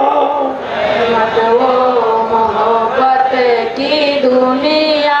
फिर और दोबारा बसती है। और दोबारा बसती है। कहते कि दोबारा वो नहीं दुनिया बसाती। तो रहमत यानी दयावान जो दया करने वाले, सबसे प्रेम प्यार मोहब्बत करने वाले, सबकी सेवा करने वाले और सबको अपना मानने वाले, ऐसी नई दुनिया का एक फिर से वो, यानी बसा, बसाते आगे क्या करें? जय गुरुदेव अनाहलक से। जय गुरुदेव अनहलक उतरती है। नूरानी हँसी उतरती है। सब जय गुरु देव अनाहलक से तब जय गुरुदेव अनलक से। नूरानी हस्ती उतरती है। नूरानी हँसी उतरती है। ऐसा खराब समय माहौल वातावरण बन जाता जब जो किसी की सुनता नहीं। किसी की सच्ची अच्छी बात न सुनता न मानता। तब कहते जय गुरुदेव, परम धाम से नूरानी हस्ती आ करके उनके कल्याण के लिए ये सारे काम करना प्रारंभ कर आज वही वक्त समय आपके सामने। और वही नवीनतम कार्य परिवर्तन का आपके सामने होने जा रहा जो न कोई कर सका और न कोई कर सकेगा धीरे धीरे धीरे, ये परिवर्तन की लहर जब सब में फैल जाएगी और हर इंसान सत्य कहने और सत्य समझने और सत्य बोलने के लिए मजबूर हो जाएगा। ऐसा भी समय आएगा, आप चिंता मत करिए। सब तुम्हारे सामने ला के खड़ा कर। लेकिन अभी मौका इसीलिए दिया जा रहा। ऐसा आप लोग इसमें भागीदार बन जाए आपको भी इसका कुछ हिस्सा मिल जाए, कुछ लाभ मिल जाए, कुछ तुम्हारा बचाव हो जाए, तुम्हारा कलयुग के इतिहास में नाम हो जाए, इसलिए बताया। लेकिन करने वाला इतना सक्षम है, वो कर देगा तो कोई सोच भी नहीं। कोई नहीं समझ पाएगा उसकी नीति को रीति उनके पास ऐसी परिवर्तन की भूमिका व्यवस्था है जो किसी के समझ में नहीं आएगा।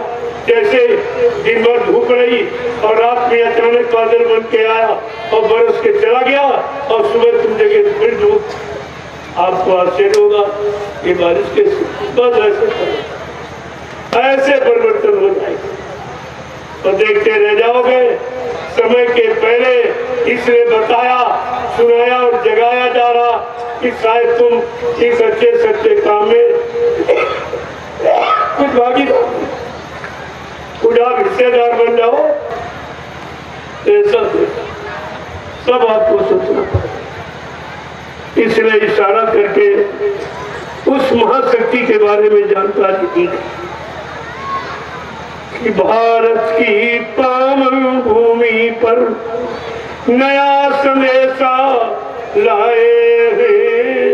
और विश्व मसीहा के बाबा जय गुरुदेव जगाने आए भारत की पावन भूमि पर नया संदेशा लाए हैं। और विश्व मसीहा बाबा जय गुरुदेव जगाने, आए हैं। राम कृष्ण ईसा मोहम्मद की बाणी तुम भूल गए। और चंद्रशेखर आज़ाद भगत, नेता सुभाष को भूल गए। गांधी जी का इस सत्य हिंसा, ये तुम्हें बताने आए हैं। गांधी जी का सत्य हिंसा तुम्हें बताने आए हैं। और विश्व मसीहा के बाबा जय गुरुदेव जगाने आए मंदिर मस्जिद ये गुरुद्वारे खड़े खड़े रो रहे बिचारे। हिंदू, मुस्लिम, सिख, ईसाई आपस में लड़ भिड़ रहे सारे।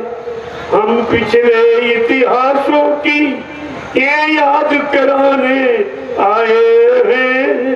तो विश्व मसीहा बाबा जय गुरुदेव जगाने आए हैं। भारत की पावन भूमि पर नया संदेशा लाए हैं। और विश्व मसीहा बाबा जय गुरुदेव जगाने आए हैं। भारत है धर्म कर्म भूमि भारत है धर्म कर्म भूमि ये बात दिलों से निकल गई। स्वार्थ में सब डूब गए। राजा रैयत बुद्धि भ्रष्ट हुई। क्या कहें? भारत है धर्म कर्म भूमि ये बात दिलों से निकल गई। स्वार्थ में सब डूब गए। राजा रैयत बुद्धि भ्रष्ट हुई। राजनीति में धर्म नीति का पाठ पढ़ाने आए हैं। और विश्व मसीहा के बाबा जय गुरुदेव जगाने आए भारत की पावन भूमि पर एक नया संदेशा लाए हैं। और विश्व मसीहा बाबा जय गुरुदेव जगाने आए हैं। प्रजातंत्र हुआ लूट तंत्र शासक वर्ग के बेविचारों से प्रजातंत्र हुआ लूट तंत्र शासक वर्ग के बेविचारों से सारे मुल्क का बच्चा बच्चा रो रहा क्या? चारों से। प्रेमियों कैसा समय आ गया कि प्रजातंत्र हुआ लूट तंत्र शासक वर्ग के बेविचारों से सारे मुल्क का बच्चा बच्चा रो रहा क्या? चारों से कहे गुरुजी, ये भ्रष्ट व्यवस्था हम तुम्हें बताने आए हैं। विश्व मसीहा बाबा जय, गुरुदेव जगाने आए भारत की पावन भूमि पर अब नया संदेशा लाए हैं। और विश्व मसीहा बाबा जय गुरुदेव जगाने आए हैं। जय गुरुदेव। जय।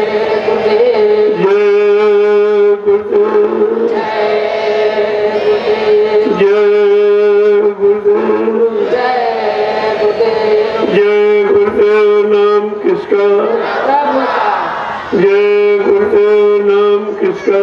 प्रभु का प्रभु का प्यारा नाम। देखो। अब ये कुछ लोग और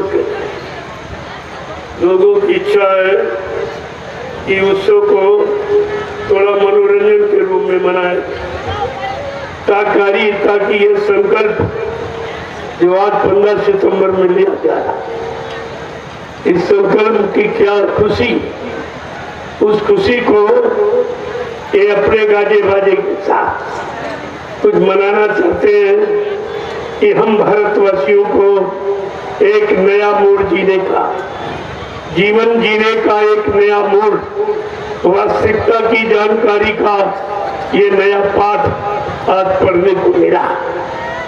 इसकी खुशी ये मनाना चाहते हैं। तो ये बहुत अच्छी बात है। किसी रूप से आप इसे जान लो, मान लो और पहचान लो और अपने में उतार लो तो तुम्हारा मानव जीवन एकदम हो। इसलिए अब ये मनाना चाहते हैं तो हम तो कोई रोकथाम करते नहीं। ये अच्छा है, लेकिन हमारा संकल्प याद रखिए इस संकल्प को ले लो और एकदम निकल लो देश दुनिया को दिखा दो कि भारतीयता किसे कहते हम भारतवासी इसे कैसे सिद्ध करें? वास्तव में हिंदू और हिंदुत्व किसे कहते हम इनको ये दिखा देंगे हम वो काम नहीं करते, केवल बताने का और कहने का भाषणबाजी हम करके दिखाएँगे। और सारा देश जान जाएगा कि भारतीयता किसे कहते हमारी भारतीय संस्कृति क्या? हमारी संस्कृति का मुख्य उद्देश्य क्या था? हमारा भारतीय खान पान विश्व के देशों से बिल्कुल अलग। हमारा पहनावा, हमारे शरीर की रक्षा, हमारे शरीर में बीमारी न आने पावे, ऐसे वेशभूषा जो सूती यानी कपास, एकदम सूती कपड़ा। जो शरीर की गंदगी शोषण करता आपने विदेशी कपड़े, पता नहीं किस चीज़ के बने, ये भी नहीं मालूम। कितनी गंदगी हो सकती? कब गंदगी को बटोर कर मशीनों के द्वारा पाक साफ़ करके अब कपड़ा इतना महँगा बना दिया और तुमको उसी का यानी शौकीन बना दिया। और तुम सब भूल गए। और कपड़ा भी महँगा पहने, पैसा भी खर्च किया और बीमारियों को निमंत्रण दे दिया। अब आप परेशान हो तरह तरह की बीमारियों। इसलिए मैंने आपको अपनी भारतीय संस्कृति की याद दिलाई। भारतीय खान पान की याद दिलाई भारतीय वेशभूषा की याद दिलाई है। और भारतीय भाषा की जानकारी आपको दी है। अगर ये सब हम लोग करने लगे तो परेशानियाँ हमारे देश से, हमारे समाज परिवारों से, इंसानों से हमेशा के लिए चली जाएगी। जय गुरुदेव अब इनका क्या कार्यक्रम खुशहाली का जरा देख। ताकि नहीं कहेंगे उनको मौका नहीं। तो हम तो आपको अच्छी तरह बताते। हमें कोई किताब कापी ज़रूरत थोड़ी। उसकी आवश्यकता नहीं अनुभव को कभी किताब नहीं। अनुभव किताब ने मैं खुद लिखा। किताबों ने अनुभव नहीं बताया। अनुभव ने किताब बनाई। इसी बात को तुम तुम भूल जाते महात्माओं, किताबों ने महात्मा नहीं बनाया, महात्माओं ने दया करके किताबें बनाई लेकिन तुम बाकी को उल्टा समझने लगे हो, तभी आप तुम्हारी बुद्धि उलट गई। अब तुम परेशान हो और इनकी कुछ अपनी ये खुशी मनाने का इनका कुछ लक्ष्य उद्देश्य है तो मैं तो किसी की आपका विश्वास में कोई बाधा डाल आप करिए, लेकिन हमारा संकल्प पंद्रह सितंबर के आगे। ये असली जन्म है। अगर आपका जन्म इस तरीके से, यानी मतलब जन्म और जीवन अगर इसमें चला जाए तो मृत्यु के आने तक आप जीवन को सार्थक बना दोगे। ये जीवन आपका सार्थक। मृत्यु के पहले। जय गुरुदेव।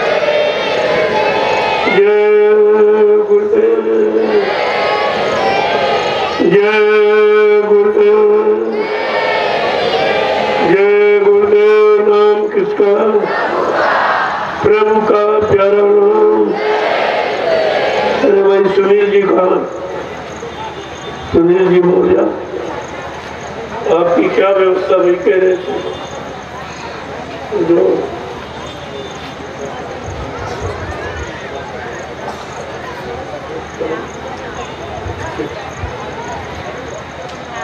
एक एक उसकी व्यवस्था करो। आप लोग बैठे हो देखो आपके सामने ये सब उसकी खुशहाली है जो संकल्प लिया। इसकी कि हम सबको इतनी खुशी है कि आज हम अपनी भारतीयता को समझ आज हम अपने भारतीय असली खान पान असली वेशभूषा जो हमारे जीवन को सुख शांति प्रदान करने वाली है, आज हम समझ पाए इस तिथि का कितना बड़ा महत्व है, जो सारे हिंदुस्तान को एक नई दिशा देगी ये तारीख पूरे हिंदुस्तान, पूरे विश्व को एक नई दिशा दी। जिसमें सबका लाभ नीत है। सबका इसमें किसी की हानि नहीं है। थोड़े दिन आपको तकलीफ़ मालूम देगी लेकिन आराम कितनी है जब आप इसे स्वीकार करोगे, जीवन उतारोगे सब एक एक दिन की आवाज़ पर सत मत के प्रेमियों ने अपनी भारतीय पोशाक को धारण किया। कुर्ता पैजामा, धोती, कमीज, लुंगी और सिर पे कपड़ा, पगड़ी, जो जैसा जिसको अच्छा लगता ऐसा और लंगोटी ये तो मुख्य है। बस इसी की सारी महिमा शरीर में और सारे अध्यात्म सफलता पाने की महिमा इसी ये लंगोटी आपको क्या नहीं दे सकती? अगर सच्चे दिल और सच्चे मन संकल्प से अगर आपने लगा दी तो ये ईश्वर की प्राप्ति को ये इतना इतनी इसमें शक्ति है, लेकिन अगर नियम कानून आपने संयम का ध्यान रख के इसको धारण कर लिया है तो फिर सब बाबा जी ने तो पहले ही स्टार्ट मालूम लेकिन उन्होंने कुछ कुछ भी नहीं किया। ये सब गुरु को भूल गए। जिसने टाट पहना है, उसी को पहले मर के चले और टाट बोले पहले बोलो। इनको ये भी शर्म नहीं आती कि लोग कहेंगे, अरे भाई, जिसने पढ़ाया और तुम कह रहे हो मर गए, फिर इसको क्यों कहेंगे? इसका लाभ कौन देगा? इस टाट की मजदूरी कौन देगा तुमको? इस त्याग जो कर रहे हो, इस त्याग की कीमत कौन चुकाएगा? इन बेचारों को कुछ नहीं मालूम। और बाबा जी ने कहा कि बच्चा, तुम लगोड़ी लगा किस समस्या मैंने लोगों से पूछा, तुमने जब से लगोटी लगाई, कितने बच्चे बने? तो इनका मतलब क्या? अरे, ये संयम का यंत्र। ये ब्रह्मचर्य पालन का अचूक यंत्र है। इस महात्मा ने सच्चाई, सच्ची रंगोली लगा ली, परमात्मा को प्राप्त जिस विद्यार्थी में सच्चे ब्रह्मचर्य का पालन करने के लिए रंगोटी लगाई, उसका रास्ता एकदम वो सफलता था। कभी असफल नहीं होता, और जिस पहलवान ने सच्चे संकल्प लेकर रंगोटी लगा दी वो विश्व विजेता इतना बड़ा लाभ है, ये है शक्ति केंद्र। शरीर में तुम्हारे और कहीं नहीं, शक्ति की स्थान शक्ति केंद्र का इस शक्ति केंद्र को सुरक्षित रखो। इसलिए ये संयम के रूप में आपको प्रदान की गई है। आप इसको लगा के देखिए। कितना मन शांत होता, कितना विकारों से अलग होता। इधर उधर जाएगा नहीं। जब जाएगा तो फ़ौरन आपको याद आ जाएगा कि हमने संकल्प लेकर लोगों की फल कितनी बुराइयों से कितने बुरे खान पान कितने बुरी संगत, बुरे कर्मों से आपको बचा देगी ये इतना बड़ा काम करेगी इसीलिए, अरे भाई, लोगों की कोई तो महात्मा और महात्मा कोई लोगों बोल रहे तो कैसे तो गया लग गई तो महात्मा महात्मा वही जिसके पास सच्ची लोग वो महान जिसने अपने आत्मा को जगा दिया। ये सब आपके लिए इशारा किया गया है। आप जो करोगे तो सब जाते क्योंकि जो करेगा, उसे लाभ मिलेगा। करके पहले देखिए। इसमें कोई खर्चा नहीं। तो चार केवल इतना कपड़ा। इतने कपड़े पहने हो और कोई लाभ नहीं। और इतना कपड़ा लगा दो तो सब लाभ सब लाभ। ये है महात्मा फकीरों की। अमानत ये उनकी अमानत है जो आपको देना चाहिए और आपको दे रहे कि अमानत को ले लो, अब तुम भी धनवान बनो। वो धनी जो यहाँ जिसकी क्षमता राजा भी नहीं इसके पास चरित्र बल है, उसके पास सबसे बल इस बल के मुकाबले कोई ये चरित्रता की निशानी है लोगों आप इसको करिए। देखिए, आपकी समझ में आ जाएगा इसको महात्मा हमेशा अच्छी चीज़ आपको देते हैं, लेकिन जब आप अच्छे भाव विचारों में लोगे तो तुमको अच्छी दिखाई देगी, और बुरे विचार भाव और भोगों के भाव में तो फिर बुरी दिखाई। तुमको तो बुरा लगेगा ये सब जितने फ़ैशन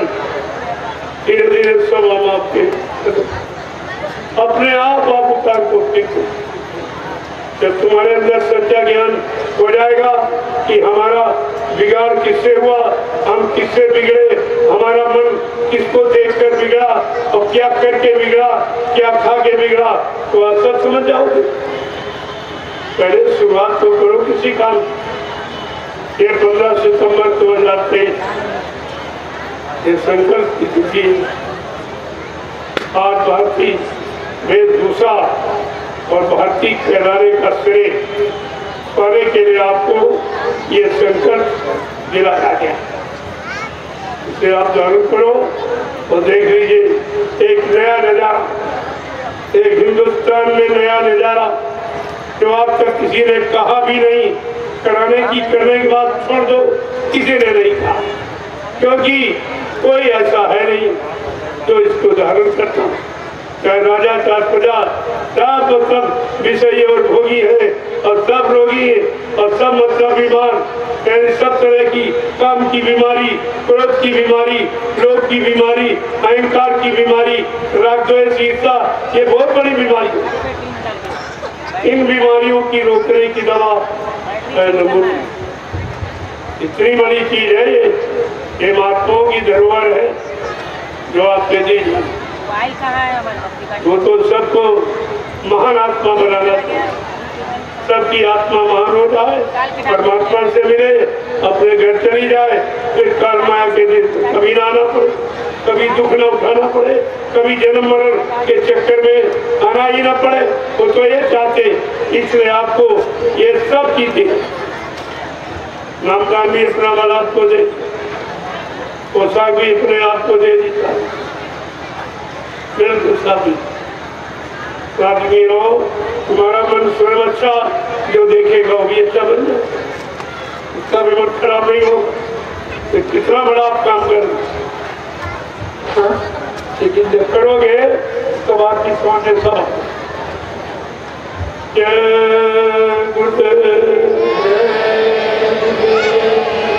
जय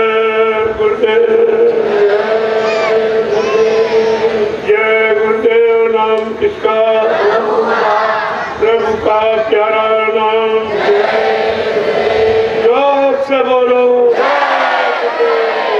मिल बोलो। बोलना होगा। अभी से बोलो। दुख दर्द हरेंगे। सब कष्ट मिटेंगे। सुख शांति भी देंगे। सबके दाता, सबके मालिक। प्रेम से बोले, ये नाम नहीं इंसान का। ये काम नहीं इंसान का। आज की पुण्य पावन तिथि पर एक सत्संगी प्रेमी ने यदि मैंने तुमको मना किया। इसकी ज़रूरत नहीं है, गाड़ी हमारे पास है। और आपकी दी हुई है। एक गाड़ी पर कहा, नहीं भाई, मुंबई संगत में मिलके दी लेकिन मैं अकेले ऐसा भी सूरवीर है आपके बीच। उन्होंने अकेले वो गाड़ी फॉर्चुनर तो सबसे अच्छी। सबसे महँगी दो पचास लाख एक अकेला प्रेमी कहा मैं इस जन्म दिवस के पावन अवसर पर मैं देश में धर्म के प्रचार के लिए मैं अपनी अमानत भेंट कर रहा हूँ। रास्ते में आ रही है। आ जाएगी तब तक आप ये सब अपना जो मना रहे हैं, खुशी को मनाओ। और इसके बाद प्रसाद वितरण आपको प्रसाद वितरण हो जाएगा। सबको बुलाऊँगा अपने हाथ से दूर। आज का प्रसाद अपने हाथ में तो किसी द्वारा नहीं, अपने। सब लोग आज की तिथि का प्रसाद ज़रूर ले रहे उसको मैंने दोपहर में दे दिया और जो बाकी उसको भी दे दूँगा। गुरुदेव।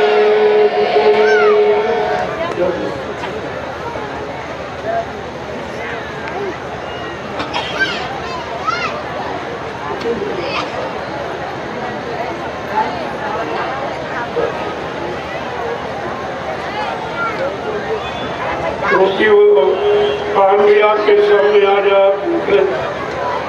देखो मेरे पास कुछ नहीं। ये सब आपका दिया हुआ है। तो आपके काम में लगाऊँ और आपका दिया हुआ सामान चाहे करता हो। कोई चीज़ सब आपके काम में ही लगाता हूँ। हमको इसकी ज़रूरत नहीं है। थोड़ी देर में आते हैं। हमको तो तुम्हारी ज़रूरत है।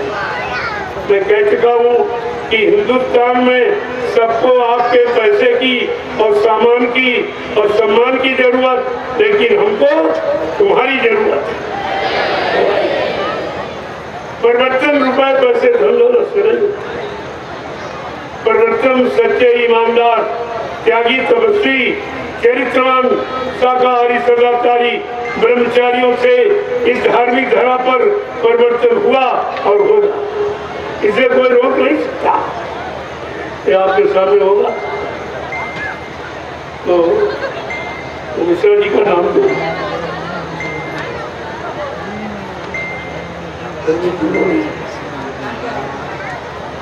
मिश्रा जी का नाम वैसे गाजीपुर के रहने वाले वो अध्यापक हैं बस्ती में। तो मिश्रा जी बस्ती में रहते उन्होंने सदगुरु धाम में जो सदगुरु धाम में सत्संग स्थल बना है, उन्होंने अपनी गाड़ी कमाई से बनवाया। और कहते दो सौ ऊर्जा यानी एक हाँ और एक ग्यारह आश्रम में लगवाऊं और दो हैंडपम्प दयाल आश्रम में उन्होंने लगवाए अभी। और ये गाड़ी पचास लाख अभी वेट की है, जो अभी आने वाली इलाहाबाद को क्रॉस कर गई है, अभी आ जाएगी आप ये लोगों की श्रद्धा, मैं तो किसी से कुछ कुछ नहीं मानता, लेकिन इस चीज़ की इच्छा है कि हमारा भी कुछ धन लग जाए, क्योंकि धन तो साथ जाएगा नहीं। चलो सेवा में लग जाए, वही हमारा। तो देखिए हेमंत। हेमंत मिश्रा। हेमंत मिश्रा जो गाजीपुर के रहने वाले हैं। इस समय बस्ती में अध्यापक है, वहीं रहते हैं। तो उन्होंने ये फॉर्चुनर गाड़ी भेज की अकेले किसी का हिस्सा नहीं, अकेले मैंने कहा नहीं कहा बम्बई संगत ने मिलकर अगर वो गाड़ी दी तो मैं अकेले दूँगा। मैं उत्तर प्रदेश का नाम पीछे नहीं होने दूँगा, मैं अकेले। उन्होंने व्यवस्था तो हमने कहा, हमें तो ज़रूरत नहीं कहते आपको नहीं, हमें तो ज़रूरत है। हमको अपने अपने मतलब यानी काम की ज़रूरत है। हमारा काम तो हम तो कहीं जा नहीं पाएँगे। चलो इससे प्रचार होगा, जगह जगह जाएगी, सेवा ले आएगी तो हमारा भी कुछ घर में हिस्सा बन जाएगा। तो वो कितनी अच्छी सोच सेवाओं का चुनाव करना। चाहिए जैसे मुंबई संगत ने सेवाओं का चुनाव करा, ये रथ दिया ये रथ किया पूरे हिंदुस्तान में। सब और दूसरा ये बड़ी गाड़ी। इससे मैं समय चल रहा हूँ। ये भी इसकी संगत। तो इनके अंदर भाव बना कि मुंबई संगत ने ये दिया और हमारे उत्तर प्रदेश का ये दिया। उत्तर प्रदेश में काम हो रहा, क्या उत्तर प्रदेश में हमारे सबके पास कुछ भी नहीं? हम लोग क्या कंगाल है? उन्होंने क्या नहीं? मैं अकेले जन्म दिवस के पावन अवसर पर मैं ये गाड़ी आपको भेंट करूँगा। उससे धर्म का प्रचार हो जन जागृति हो तो लोगों को लाभ मिले तो हमारा धर्म सही जगह लग जाएगा देखिए कुछ नहीं ऐसे आपको अपनी अपनी सेवाओं का संकल्प करना चाहिए और आपने किया तभी तो तीन आश्रमों का निर्माण हो गया। ये तीन चार वर्षों में तीन आश्रम जबकि मैंने आपसे मांगा नहीं, आपने खुशी में श्रद्धा से, श्रद्धा, सेवा भाव ने आपने जो दिया एक रुपया, दो रुपया, दस रुपया तो पचास हज़ार जो भी आपने दिए तो मैं तो आपसे कहता चल के देख लो कि आपने जो मेरे हाथ में दिया है, तुम्हारी एक एक पाई हमने बात सब सामने लगी इसमें कोई कहीं नहीं कर सकता। मैं कोई काम करते हुए नहीं। बोलता हूँ, आम मन से सरे आम मन से जिसको छापना, लिखना है वे छापे क्या मीडिया बंद कर कोई हो? तो बाद में आते हैं हमारा बोलिए। अरे भाई, ये नेता वाला काम नहीं कि कोठिन कुछ बोले और मुझ पर कुछ बोले। जो मैं कहूँगा तो उससे आपको लिखना पढ़ना अगर आता है तो छाप दीजिए। वैसे मैं जानता हूँ कि आप ये छाप नहीं सच्चाई को कहना तुम्हारे मुँह की बात नहीं तुम्हारा मुँह सच्चाई नहीं बोल पाए। तुम्हारी कलम में स्याही और कागज़ में जगह सच्चाई लिखने के लिए नहीं ये तुम नहीं लिखते और धीरे धीरे इस समझ में आप सब लोग शामिल हो जाओगे। ये काम सबके ही मैं कोई अपने लिए कर नहीं रहा, अपने नाम कोई ज़मीन ले नहीं रहा, अपने नाम कोई वाहन करा नहीं रहा, अपने नाम एक पैसा बैंक में जमा नहीं करा कोई खाता नहीं खोला फिर आप करोगे कैसे? करोगे। इतनी खुली किताब जिसकी उसकी बात क्यों नहीं मानी। लोगों ने बड़ी आलोचना लेकिन हमारे पास समय नहीं था, उनकी बात सुनी लोगों ने वही बड़ी आलोचना, छापी जा रही, पैसा दे दे के, ये निकाल रही है। हमने भाई तो वो अपना काम कर रहे और हमारे पास उनकी बात सुनने का समय नहीं है, क्योंकि हमारे पास काम जिसके पास काम नहीं वो निंदा आलोचना बुराई हमारे पास तो काम है। इतना काम है कि मतलब रात्रि उसी को कर पा रहा और आपसे भी कहता हूँ कि आप लोग जल्दी से निकलो और इस काम को करो। तुम्हारा भी नाम हो जाए और कलयुग के इतिहास में तुम्हारा भी नाम लिख तो सबके लिए कह रहा हूँ। और आप आते चले जाते हो। उस पर भी मैं कोई आपसे संतुष्ट नहीं होता। यही कहता हूँ कि भाई आपको पछताना पड़ा क्योंकि ये समय रहेगा नहीं। और जहाँ तुम हो, वहाँ काम करने के लायक नहीं हो। क्योंकि बुढ़े हो जाओगे। फिर आपकी वहाँ भी कदर नहीं रहेगी। और यहाँ भी संगत में काम करने लायक नहीं रहोगे। यहाँ भी लोग आपको नहीं रखेंगे। तो फिर आपको पछताना पड़ेगा। जय गुरुदेव। सतयुग को लाएँगे। विश्व में शांति को लाएँगे। जन जन में प्रेम को लाएँगे। स्वामी जी का कहना। बस ये बात। है आपको शाकाहारी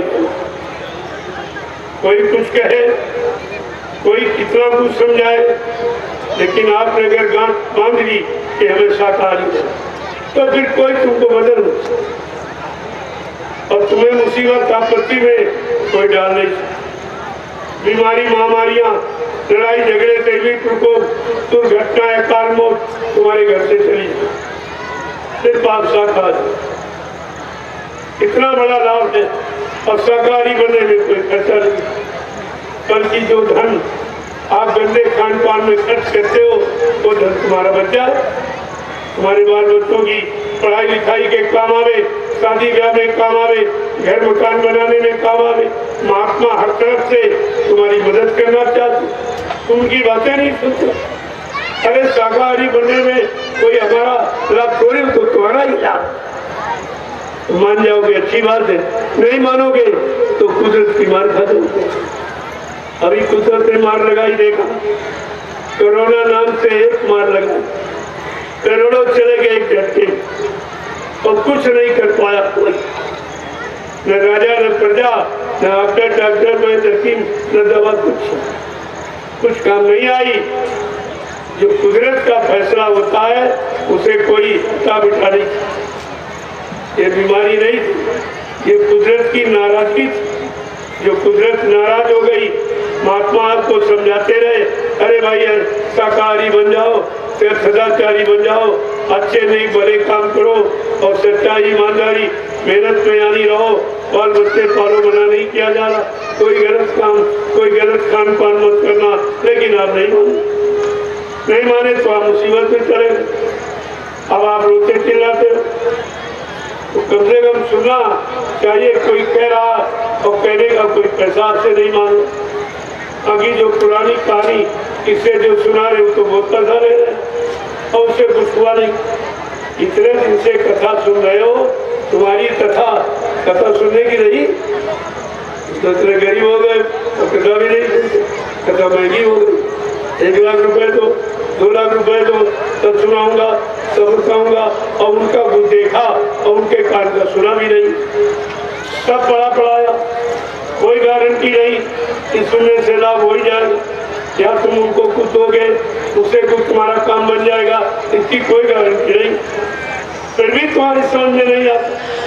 तो कोई गारंटी भी नहीं ले रहा और पैसे भी दम दे रहे, और श्रम समय सब खर्च कर रहे और मिलता कुछ नहीं तो कोई ये भी नहीं कह रहा कि हमारी कोई गारंटी फिर आप आखिरकार ये करते क्यों?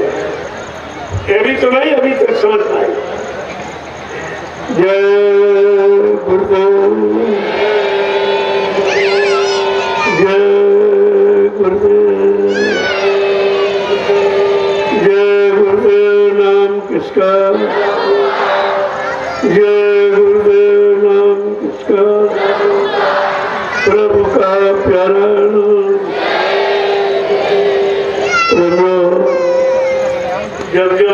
समय मिला करिए ये समझा करो कि हरि गुरु की कृपा हो। बगैर परमात्मा की कृपा के, न संत महात्मा मिलते हैं, न उनका सत्संग मिलता और बगैर महात्माओं के मिले आप जीवन का असली रास्ता नहीं समझते असली कर्म नहीं समझ पाओ। कौन से कर्म करें कि दोबारा मनुष्य शरीर मिल जाए अब तो आप मनुष्य शरीर पाने वाले भी कर्म भूल गए सब पशुओं वाले, पक्षियों वाले कीड़े मकोड़ों, जंगली जानवर वाले कर्म करते तो कम से कम सत्संग में आकर मानव शरीर पाने वाला कर्म तुम आत्माओं से पूछ लो। अगर शाकाहारी बन जाओगे, सदाचारी बन जाओगे, सच्चे नेक बने, ईमानदार चरितमान बन जाओगे तो दोबारा परमात्मा आपको फिर अवसर देगा कि चलो भाई, तुमने अच्छा काम किया मानो शरीर में, चलो अब की बात जाओ तो तुम्हारा काम और अच्छा हो जाएगा, किसी अच्छे सत्संगी परिवार में जन्म हो जाएगा, और शुरू से नामदान मिल जाएगा, और तुम नाम करने लगो तुम दूसरे जन्म में पालो ऐसे जीव दूसरे जन्म में पार भी हो जाते वो पार भी हो जाते लेकिन जब मनुष्य शरीर पाने वाला, जन्म पाने वाला कर्म नहीं करो तो फिर कैसे बाबा जी ने एक हज़ार वर्ष का समय रखा। का एक हज़ार वर्ष के लिए सत्यु लाओ। अपनी तपस्या त्याग के पर एक हज़ार वर्ष के लिए कलयुग में सतयुग लाऊँगा। और जितने जीवों को नाम दान दिया, उनकी जीवात्मा को जगाकर घर पहुंचाऊँगा। इस काम के लिए संकल्प एक हज़ार वर्ष, एक हज़ार वर्ष सब निकल कोई अब की बार कोई दूसरे राउंड में, कोई तीसरे राउंड में कोई चौथे अरे कैसे नहीं आता? तो अब की बार आपने नाम ना लिया, हमारा छोटी बेटा सुंदर ने मुझे कुछ नहीं किया। सत्संग सुना नहीं, सेवा कभी की नहीं, सेवा कभी की नहीं तो फिर भाई दोबारा किसी गरीब को गरीब बर्बाद हो जाते और परेशान हो जाए और दिक्कत में और बीमारियों में फंस हो गया। इस तरीके से ये हज़ार बार आपको जन्म तो कभी न कभी तो समझ आएगी ही, और फिर निकल जाओ। अगर ही बार की बार ही पहले जन्म में निकल तो अच्छी बात लेकिन आप निकलने वाला तो कुछ काम ही नहीं करते। सब काम इधर उधर फसले फंसाने वाले कर रहे हो, अटके अटकाने वाले और तुम कैसे निकलोगे तो तुम्हें अपने निकलने की बात भी तुम्हारी समझ में नहीं आती। तो फिर तुम कैसे निकल पाओ? ये जानकारी आपको चाहिए। ये पूर्ण पावन दुखी जो आपके संकल्प, ऐसा संकल्प किसी ने न निभाया है, न लिया। किसी बात को। ये किसी बात को याद भी नहीं अलग कोई कहेगा, जबकि असली धर्म और करो मानव सन इंसानियत लाने का यही रास्ता और कोई मन के शुद्धिकरण का यही तपस्या करके तो ऋषि मुनियों ने अपने मन को नहीं शुद्ध कर पाया। योगियों ने योग साधना करके मन को शुद्ध नहीं कर पाया और सारी शक्तियों ने मार काट हिंसा विनाश करके अपने मन को शांत नहीं कर पाया। तो तुम कैसे तुम्हारे लिए कितना सरल तरीका बता दिया। कि अपनी भारतीय वेशभूषा, अपनी भारतीय भाषा अपना भारतीय सादा जीवन, इसका मतलब यानी किस तरीके से हम व्यतीत करें और कैसे हमको अपने भारत देश भारत देश का जो गौरव, गरिमा है, वो हमको कैसे यानी याद हो ये सब आपको ये सब आपको बताया अब आपको ये करना। जय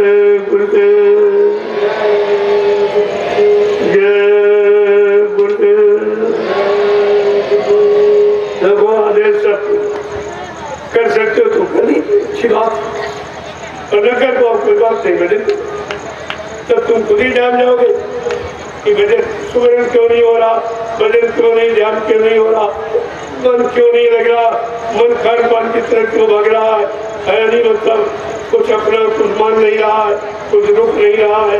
ये खाने को कह रहा है, ये करने को कह रहा है। तो तुम खुद ही समझ जाओ। फिर आपको लगाम लगानी पड़ेगी। ये तो आपको करना। बगैर इसके किसी ने कुछ कर ही नहीं पाया तो से करो जिसने पाया तो संयम बिना संयम के किसी ने नहीं जिसने मालिक को पाया तो काम कितना बड़ा, कितना महान। इसी के लगाने वाले को लोग महात्मा कहते, उसके चरण स्पर्श करते, और तुम्हारे कोई नहीं चलता। तुम्हारे पैर कोई नहीं तुम भी तो आदमी बात श्री काम